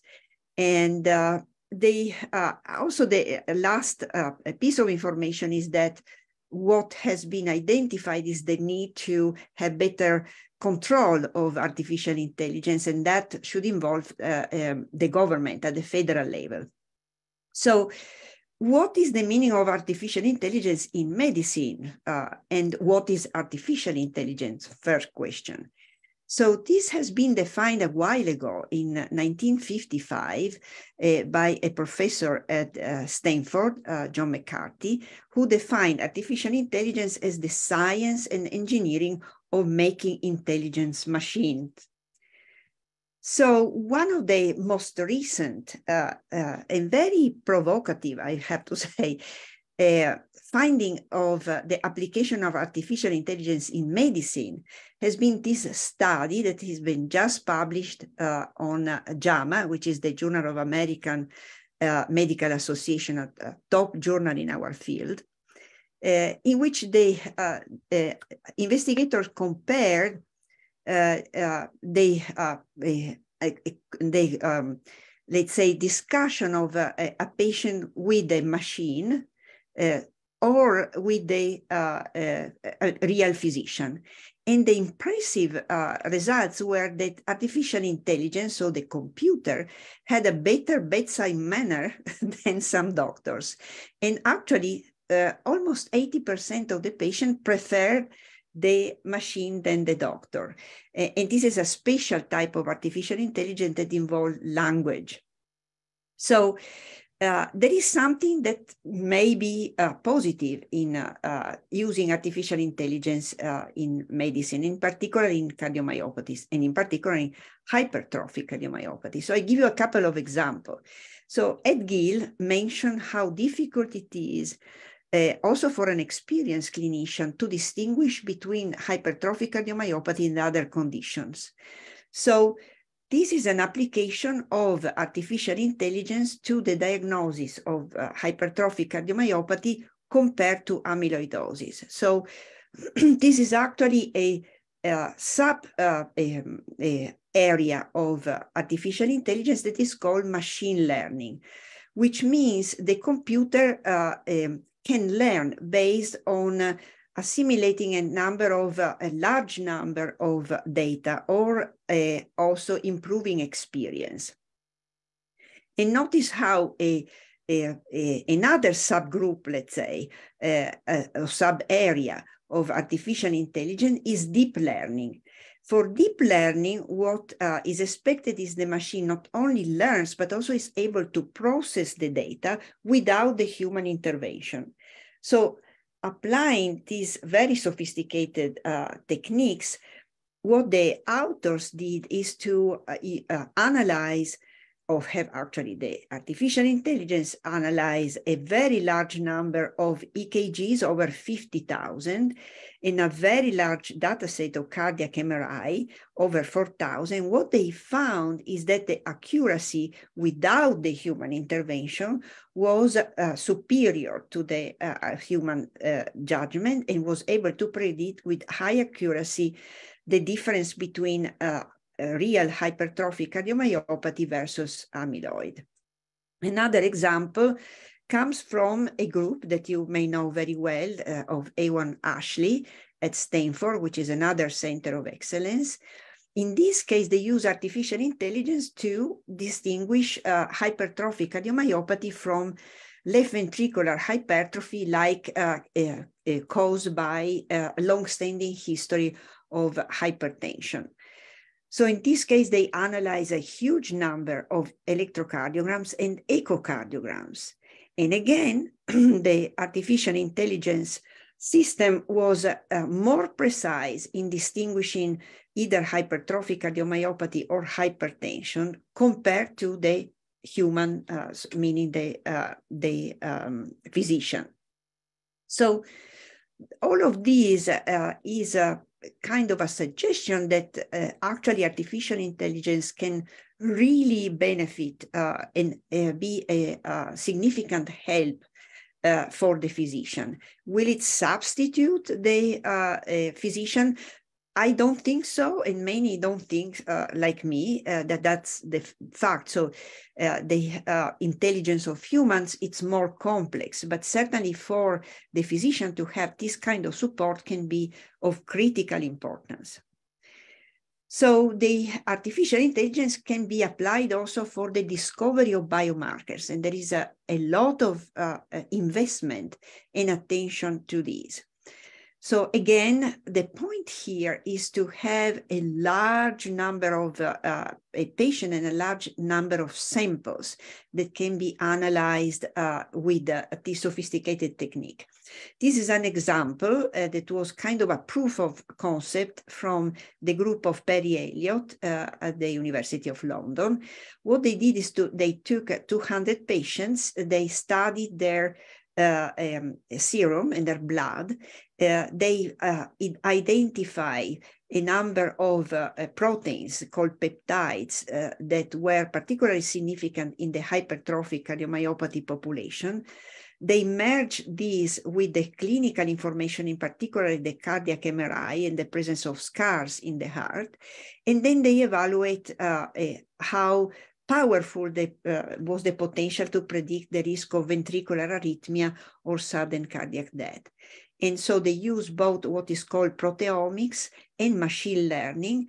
And uh, they uh, first discovered biomarkers, and then they found that these biomarkers were really very accurate in predict the risk uh, of uh, uh, arrhythmias and the risk of scars in the heart. So there is a potential there. Uh, this is still, as you can imagine, uh, uh, under investigation. We have now the availability of large biobanks with a, a huge amount of data, like the UK biobank that uh, involved more than 500,000 patients. So uh, this is becoming really um, an important field. The second topic that I wanted to mention to you uh, in this uh, look into the future is the uh, possibility to have gene therapy for hypertrophic cardiomyopathy. So uh, this is from the NIH, uh, the NHGRI uh, Institute of the NIH, that is showing how basically gene therapy works. So you have a, a healthy gene, a normal gene, uh, called functional gene that is uh, packaged into the uh, uh, envelope of the virus, a, a, virus that in this case uh, is particularly attracted to toward cardiac cells, cardiomyocytes, uh, when attached to the cells, it uh, can free the uh, DNA, the healthy gene, let's say. The gene is uh, incorporated into the nucleus and start working and replacing the defective gene. So this is the concept of uh, uh, gene therapy. So the reality is that, and this is a, um, a, a, slide that Jeff Haraldson uh, uh, of Tenaya Therapeutics kindly provided me. Uh, the reality is that uh, adeno-associated gene therapy, this is the type of virus that is used, it's actually been under study for over 20 years. There are uh, over 180 uh, uh, gene therapy clinical programs. There are over 250 studies, more than 15 years of uh, uh, experience, six approved uh, gene therapies since 2017, and there are over 5,000 patients that have been treated. So let me bring you a little bit into the concept of which uh, you, we mean for gene therapy. So there are three fundamentally type of gene therapy that can be used in hypertrophic cardiomyopathy. So one is that uh, there is a, the mutation that is causing hypertrophic cardiomyopathy cause a loss, a decrease of a specific protein. So in this case, the approach is to replace introducing the normal gene into the cardiomyocytes uh, and rescuing the normal level of the protein that is uh, missing or deficient. The second approach is the so-called gene silencing therapy. So uh, what you want to do is to silence, to block uh, uh, the defective gene uh, uh, um, uh, function. And so the abnormal protein will not be expressed in this case. The problem here is that this approach needs a, a series of repeated treatments. The ultimate, of course, is to simply repair the gene. So to, there is a mutation and to be able to correct the mutation. And this is becoming a reality as well. Of course, as you can imagine, this is uh, the most difficult approach. So let's review how this is working. So you have the uh, a, a, a viral envelope, uh, which will encapsulate the normal gene uh, this is given as a treatment, uh, as an uh, IV infusion just once. Uh, the treatment targets specifically the uh, cardiac muscle cells. the vector, which is the viral vector, arrives at, this, at the cells, and the DNA is freed and integrates into the DNA uh, in the nucleus. And this basically is expected to basically repair the heart disease. So why I'm saying that this is becoming reality? Because uh, uh, this approach uh, is now uh, uh, a, a, gene therapy program that is now in a, a phase 1B study by the Tenaya Therapeutics. we are collaborating actually with Tenaya on other gene therapy programs. Um, and um, this um, uh, study uh, is to evaluate the uh, safety and tolerability of infusion of uh, the uh, adenoviral vector containing uh, a gene for hypertrophic cardiomyopathy. The gene in this case is the myosin binding protein C gene, which is particularly suitable for this um, type of therapy and uh, adults are enrolled at this time. They have to be symptomatic and non-obstructive. They have to have a, a, cardiac defibrillator. So the plan is to start the actual uh, uh, administration of the drug uh, in the at the end of uh, 2023. So I mentioned that, however, the ultimate approach uh, is to actually repair the gene. And this is particularly important for uh, patients that have the beta myosin heavy chain gene uh, uh mutation. The reason is that the uh, myosin heavy chain is very big and it's uh, very difficult to package the gene into a vector. So the strategy in that case is to package in the vector the machinery to repair the gene. So, and these are uh, two studies that just came out uh, on Nature Medicine, so very, very high level journals. One is from the group of Dexter Eric Olson, and the other is from the Seidman's uh, uh laboratory at Harvard both of them uh, were able to show that they were able to repair first in vitro and then in preclinical studies. Uh, so what we call preclinical study, which is the animal model, that if you can see this is the normal heart, this is you can uh, uh, see here this is the uh, a, a, left ventricle. These are the walls uh, of the left ventricle that are much thicker than here. And this is after uh, treatment with gene therapy. As you can see, the thickening of the walls is completely restored uh, after uh, this treatment. So there is a lot of investment, a lot of research going on to be able to uh, use also this strategy to treat our patient with hypertrophic cardiomyopathy. So with this, I would like to conclude and leave you with the, these messages. So artificial intelligence is something we hear to talk a lot uh, lately, uh, but in medicine, in particular for hypertrophic cardiomyopathy, can have a significant benefit. Uh, um, AI has really the potential to automate the detection and diagnosis of hypertrophic cardiomyopathy and determine a very specific treatment and prognosis and be a significant help uh, for the uh, physician. And it may lead to important biomarkers discovery. And concerning gene therapy, we are already at the phase of trials in the clinical setting uh, for myosin binding protein C in hypertrophic cardiomyopathy. And uh, as you have seen, the correction of the mutation is now in preclinical animal studies. And with this, I will stop here. Oh, I had so many questions myself. so um, I will disclose that I am on an advisory board um, for BioMarin on a similar project line. And the HCMA is gladly working with Tenaya Therapeutics on their trial.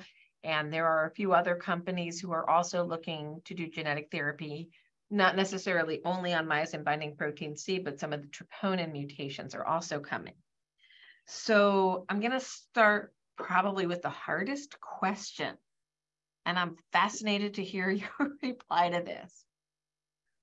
Who would be a good candidate, in your opinion, to be in a phase 1B clinical trial for a genetic therapy in hypertrophic cardiomyopathy. And for the audience, because I know you know where I'm going with this, but for the audience, there's people like me who go to transplant, and right ahead of transplant, it's probably too late to try to save the heart. And frankly, the therapy, it's a virus, it's a little hard on the system.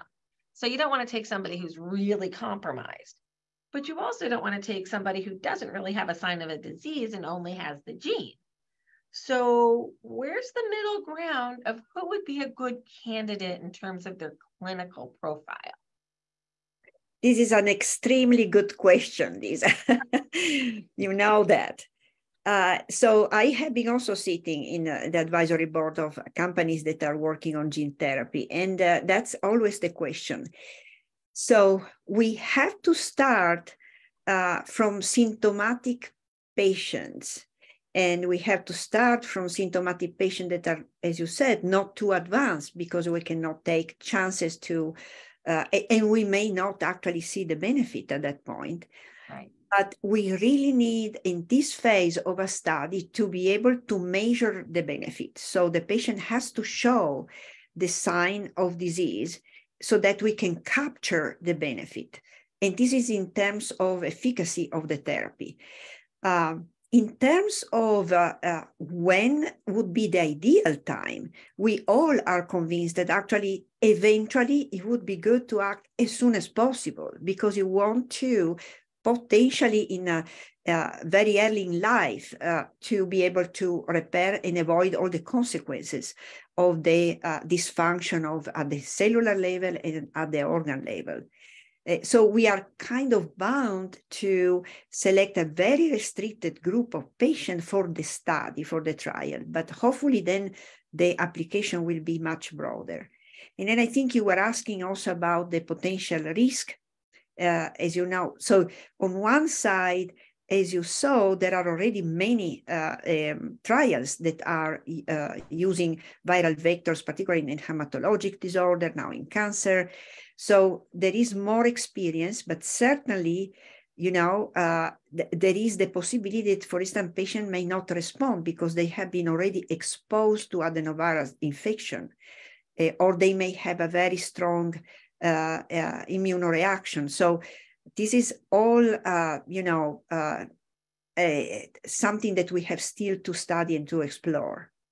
So my understanding at this point is there would be a two-level um, immunosuppression uh, mm-hmm. regimen, both with probably sirolimus or tacrolimus or, and uh, prednisone for a period of 90 days, which means it's not just about the individual being dosed, it's also about those who live with that individual.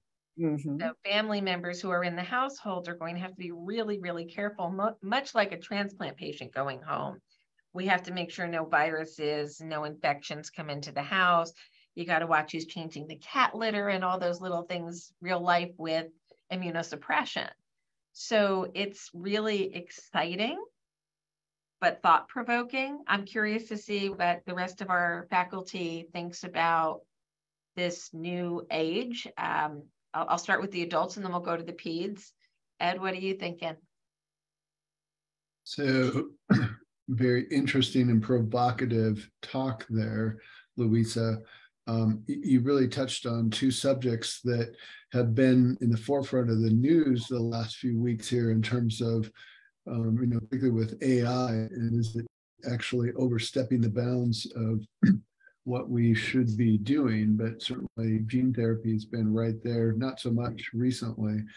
Um, but uh, uh, love your question, Lisa, with regard to who's a candidate. You know, someone, certainly not someone that is not showing any signs of any problems, um, but I think someone more in the medium level of uh, disease process. Um, you know, we've been talking about gene therapy forever. Um, we keep thinking it's going to come to the forefront. Um, I hope that it does, Luisa. I'm excited about those trials. Um, I really want to participate in them. Um, it's easy to be a bit of a pessimist, though, because we've been talking about this forever, um, just like we've been talking about uh, stem cell therapy for myocardial infarction, and it never seems to come to fruition. So um, I don't want to be a pessimist here. Uh, I'm hopeful that it will happen. Uh, if it does, it could uh, affect a huge number of the population of patients that we're taking care of. Uh, I guess my only comment, other comment other than that, don't want to monopolize the conversation and let David speak, but troponin mutations. Um, interesting that you brought that up because uh, you know, for two reasons. One, the troponin mutations uh, are associated with some particularly bad outcomes in some HCM patients, but that hasn't really sorted out to be quite as bad as we thought it was going to be. Um, and then the other thing that's interesting about that is, you know, mavacamten seems to work whether you have a myosin gene abnormality or some other gene abnormality. So that's food for thought as well. David? Yeah, great points so far, and um, yeah, really interesting talks. Um, I think Lisa, uh, you being a transplant patient, me being a transplant doctor, that my, my first thoughts when I was first reading about the protocol was also about the risk of immunosuppression. So I think that's going to be an important part of it. Uh, you know, selecting patients without uh, significant risks of, of harms from the side effects of the additional medications um, and I think we have to take from the prior trials of successful gene therapy to, you know, look at the subgroups that um, had trouble uh, and and reserve those for for later clinical trials when we have more promising signs of benefit. Um, but yeah, I, I, think to to piggyback on Ed's comments, I, I agree. I, you know, I, I, think the the stem cell cardiology research has burned a lot of us and made a lot of us skeptical. Um, I, I think for for monoallelic, you know, single gene diseases, um, I'm I'm cautiously optimistic. So I'm optimistic. You know, seeing what they've done for hematologic disorders has been pretty impressive. So I'm optimistic. Stephanie, what, what do you think for? I'm gonna I'm gonna I'm gonna set up Stephanie a little bit because you know I've been stalking somebody else on your team over there, and that's Matt Taylor for a long time. And you guys were were you guys involved with the Danon's trial? I would assume. That's right. Mm-hmm. Yeah, yeah, we were, but unfortunately didn't get to enroll anybody. But um, I learned a lot during that, as well as um, uh, our sites involved in the Duchenne gene therapy trials, as well as um, spinal muscular atrophy. And so um, we actually have a kind of precision medicine working group where I hear about all of the non cardiac. Um, you know indications that are um, being where gene therapy is being applied and um, especially the sma um, protocols are just amazing to me because these are infants who are diagnosed on newborn screen and the earlier you do the gene therapy the better. And i mean you're just taking a sad fatal disease and just completely turning that around. I mean um, i don't think that there's any of us that um, can be um, pessimistic when when like some of those results come out. But um, certainly i think um, we've also heard um, as part of uh, the duchenne trial you know some bad outcomes too. And so um, it's not all all positive and um, managing um, some of the side effects. Um, I think the just inflammatory reaction and other systems involvements that um, happen. I think we've certainly learned a lot, but I feel like we don't know. We don't quite know all of the mechanisms behind the side effects. We try to dampen them with immunosuppression and steroids, but um, I feel like there's still something a little bit more there that we need to know to really um, be sure that we're we can adequately manage the side effects. So I've been talking to a whole bunch of people about this concept because it's like I said, it's a new book. It's not a new chapter. It's not a new technique for echo We're getting rid of obstruction. We are at a completely different level here. So I went immediately to bioethics. Like, okay, what are the ethical implications here? And how do we prepare our community to make decisions on, yes, I want to do this in an early clinical trial, or I'll wait for later, you know, phases of the trial. And I think what it comes down to um, is truly understanding the other risks and the potential benefits as well. It's it's a scale, right? So if you look at some of the other trials, sickle cell, amazing. Hemophilia, mind blowing. Um, Duchenne's, promising but not perfect. Danon, now here we're getting a little closer to HCM. The mechanism of disease is very different, but it's cardiac. It's a cardiac specific approach. And we've gotten to the target We've taken the virus, we've put in the package, it's delivered to the heart muscle. Literally mind blowing. So I think we're on the right steps, but there's a still there's still some real deep conversations. And I have been talking to HCM experts all over the world saying, who's the right patient? And nobody's willing to specifically 100% say, I know the answer 100%. We kind of feel like it's somebody who's symptomatic, who maybe has a little bit of scar, not a lot of scar, some symptoms, but not too symptomatic, not too close to transplant, and not just diagnosed last week. So it's this balancing act. And dare I say, we're going to need somebody from the community who really believes in the science, understands the science, and is willing to take a risk. And it, they may not see a benefit from it, and that's a really special person or a few people that we're going to need. And I can tell you right now, there's like six people that are going to be in the first cohorts of two different trials. And we're not going to know for a while how well it really works. We'll know some safety signaling, but it's going to take a while.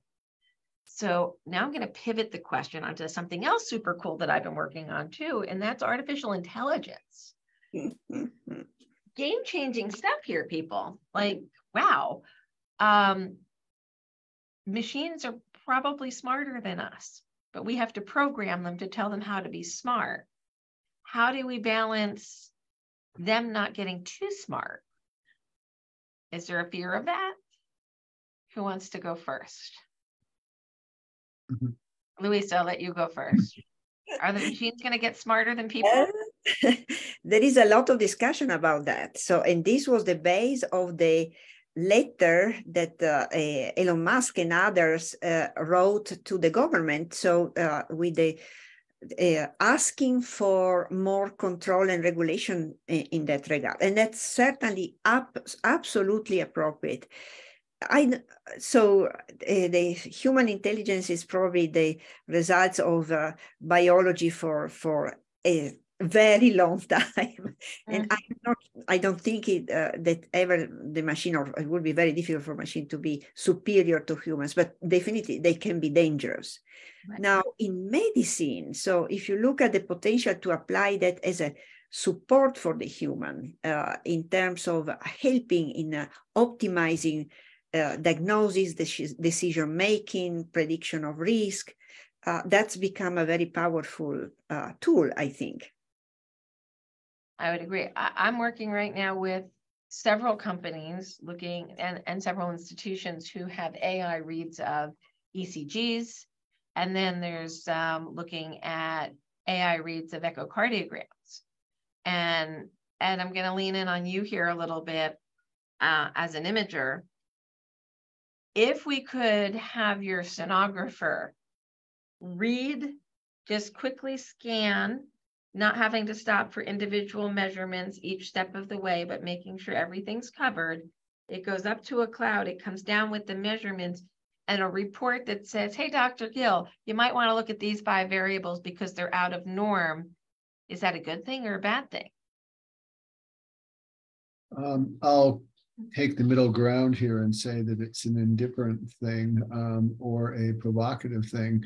Um, I think that some types of medical imaging are is much more um, in the mainstream of being um, malleable to AI. So, like chest X-rays, for instance, uh, that's already been shown that machine can read chest x-rays much better than humans. Um, but echocardiography is a lot different because there's so many different moving variables. Um, I guess I see it as potentially a bad thing because I think that it would be much too easy to sign off on such a report that you're describing. And I see that happening already today um, mm-hmm. with uh, things not being analyzed by a machine, but rather just uh, pre-reads by sonographers. So if you take uh, what sonographers do and then you take another level of uh, intelligence to it, that being the artificial intelligence, uh, I see potential danger, a lot of mistakes being made by that type of technology. Um, is it going to be possible? Yeah, no, I think absolutely for basic things. But when you start integrating things like HCM, like situations where you have obstruction in series, like you have patients who have both hypertrophic cardiomyopathy and aortic stenosis and obstruction due to systolic anterior mitral movement and um, you know LV hypertrophy. So you have potentially four levels of obstruction. Uh, I would challenge you to find any sort of artificial intelligence that's going to be able to sort through that. Um, but I see the positive of pre-reading like basic things, uh, LV thickness for what's pertinent here. I see that being done more accurately than humans. And so the diagnosis of LV hypertrophy, I feel like could be that could be a good thing on the hypertrophic cardiomyopathy scene. Um, but on the standpoint of high level Doppler, I feel like that's a long ways away. Um, and I feel like it's a good thing that it's a long ways away, at least right now. Fair so, enough. how about that? I think that was a very fair answer. I'm cautiously optimistic that it might assist in your workflow. Um, that that would be my hope for it. That it could streamline the sonographer's time and the reader's time, and just help to make the workflow of a clinic much more efficient. I don't think it can replace the read, of a, of a knowledgeable physician. But I think the actual table time could be shortened and the time to read could be shortened as well. So that's kind of my hope. Yeah, Um, and you know, certainly uh, I have portrayed the worst case scenario. Um, the reality is that the for the basic normal echo, I could see that being read by a machine very accurately. Uh, unfortunately for us, or fortunately for us, um, you know, I think that it's probably the workload has become um, bless you. the, work, the workload has become so overwhelming that having the ability to read a normal echo or a near normal echo accurately and not needing to spend much time on it. That said, we're not spending that much time on such an echo anyway. But uh, you know, streamlining the process is already in the works now. They're already, you know, like the major echo companies are already trying to make this happen. But you know, sorting through what's going to be enemy and what's going to be friend in this process uh, requires a lot of responsible thought, I think. And uh, Luisa's definitely has touched on that um, with regard to a call for government regulation for some of this technology. Um, I don't see, um, you know, cyborgs taking over the world um, anytime soon, but um, or ever. But uh, I do think that that does need to be kept in check. David, Stephanie, any comments? Lisa, any comments? AI? Are we afraid of it? No, but I wanted to mention that there are two questions uh, in the chat. Yep, And- we'll, we'll jump to those questions. Just wanted to clear up that. So I'm gonna stop, start with the second one first, because I have some interesting ones on the first. Um, so there is some newer research coming out on the use of beta blockers, but some of the data is pretty old. There's gonna be some arms in the aficamten trial comparing beta blockers to myosin inhibitors, but that data is not available yet because the trial is still underway. So what do we know about the use of good old fashioned beta blockers on the impact of HCM and outflow tract obstruction? Who wants to talk about that? I can take that on. Beta um, unless someone else does. the old school stuff. I monopolized the last question, so I'll let you talk. No, it's a it's a team effort. Um, I think the older trials, as you mentioned, that they're they're old now and they're they're pretty small, um, but they suggested that in a small group of patients, there's an, um, a modest improvement in LVOT gradient and exercise. I think in the modern era, um, you know, we've learned more. We've learned more over time. I, I think um, the two pieces of evidence that have been uh, thought provoking to me in the past few months have been one, um, you know, some of the secondary analysis from the myosin inhibitor trials showing that patients often feel better coming off of beta blocker but staying on myosin inhibitor. Um, and then there was a, an interesting study, kind of parallel, but um, not related to, not in HCM patients, but in patients with abnormal relaxation of the heart, so diastolic dysfunction, which is common in patients with hypertrophic cardiomyopathy. Um, beta blockers that you know have long been known to be difficult to use in those patients, sometimes worsen symptoms. Um, and then a, a, recent study showed that increasing the amount um, of support from a pacemaker in patients with diastolic dysfunction, those patients felt better. And I kind of extrapolate from that that maybe that's why um, using beta blockers in some of those patients makes them feel worse. Now, it gets nuanced because I think you have to find uh, those patients who um, have difficulty in mounting a heart rate response to exercise when they're on a beta blocker. Some people do fine on beta blockers. Some people have abnormal heart rate response on beta blockers. So um, the way I put all of that together is that I, I am I'm, I'm a little bit more um, kind of critical of my own beta blocker usage. I check in in patients a little closer. You know, how have you felt on your beta blockers? I'm a little quicker to switch to a calcium channel blocker and see if they feel better with that. Um, I think young people tend to have a little bit more of the the fatigue, but but really anyone can. So that's how I've kind of put everything together with uh, the beta blockers. I don't know. Anybody else? Stephanie, can you address pediatrics and beta blockers? Yeah. So I mean, I as uh, as always i have no data to go off of as you know specifically in the pediatric group but um anecdotally i would say um I tend to use beta blockers when there is worsening LVOT obstruction, specifically with exercise. Um, those with resting obstruction, I find that um, beta blockade does not usually um, help them too much.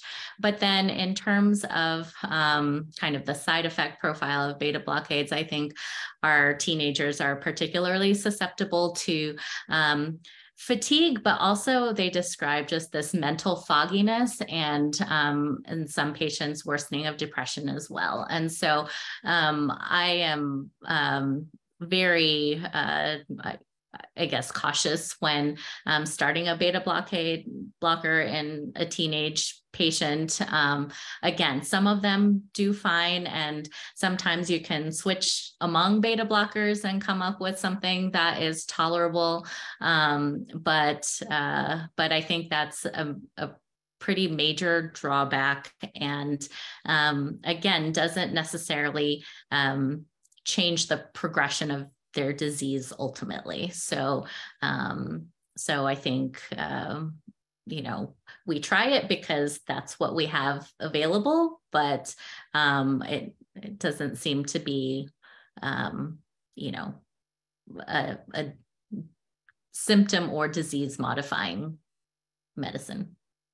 So I think it's an exciting time because not only do we currently have Camzyos or mavacamten approved by FDA, we have a pipeline for aficamten to hopefully get to approval in the next 12 months or so.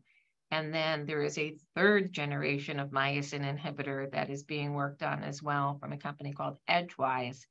And there's now another company I've recently met with that's working on an antifibrotic.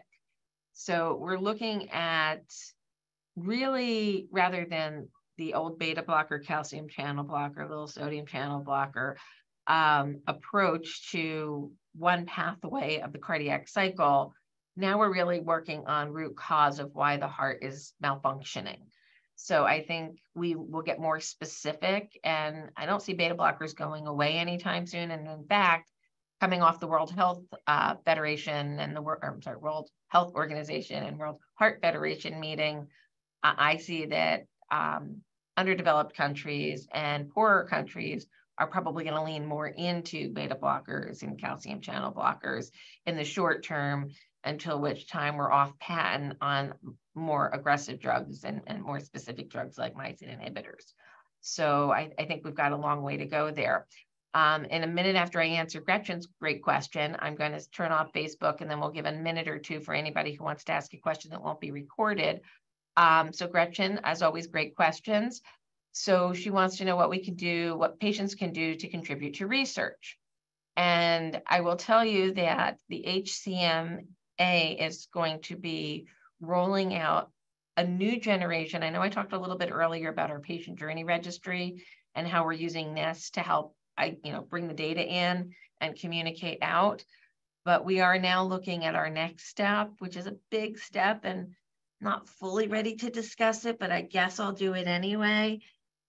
Thanks to the 21st Century Cures Act, there are mechanisms now where patients can direct where their health records go.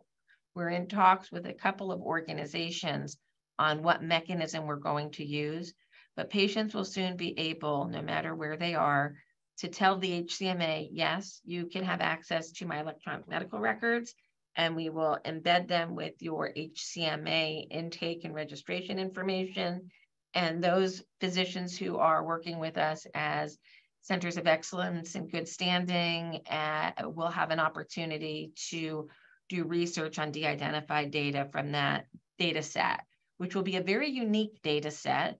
As most institutions have their academic data set, we're going to have access to individuals from literally all over the world. Um, outside of the US, we're not going to be able to do the electronic matchup, but in the United States, we'll be able to get EMR, We'll be able to take your questionnaires, your patient experience surveys, and marry them together and share with the research community to, to work in different ways. And then there's also the potential of biobanking, so we can get biomarkers from blood samples, et cetera. So we're really excited to move forward on that. This is not a little endeavor. And anybody who's done any registry work is just went, damn, she just took on a big bite. Yeah, I know it's going to be enormous, but it's going to be good. Um, for those of you who are interested in more information on gene therapy trials, we're going to be holding a webinar at the beginning of June um, on a couple of very specific clinical trials. We're going to be talking about Tenaya um, very specifically and what you need to do to get involved with that particular trial that is for myosin binding protein C only. Um, and I want to just make a public statement because I did not pick the gene marker that they're going after. As most people know, I have myosin binding protein C. And yes, I'm the founder and CEO, but I did not pick my gene as the one to start with. I'm like, guys, you're making me look bad here. So um, I will not be participating because I don't have that heart anymore. And we will not have any members of my family in the first stages of this trial because I just don't think it looks right. Um, so I'm staying I, back on this. If I could just make one comment, I just wanted to thank Gretchen for the comment and point out that she had written that before you made any comment about, you know, needing um, kind of brave patients to step up and contribute to research. And it's because of patients who offer this incredible service um, that we can advance science at all. So thank you very much for the comment, Gretchen. Yes, Gretchen, thank you. Much appreciated. And um, device data will be included as well. I just don't know how to incorporate it all yet because once you start putting lots of data points together, it turns into mush before it turns into clarity. So we're trying to step this out in a, in a clear fashion. Okay, I'm going to turn off Facebook. So everybody say bye, Facebook.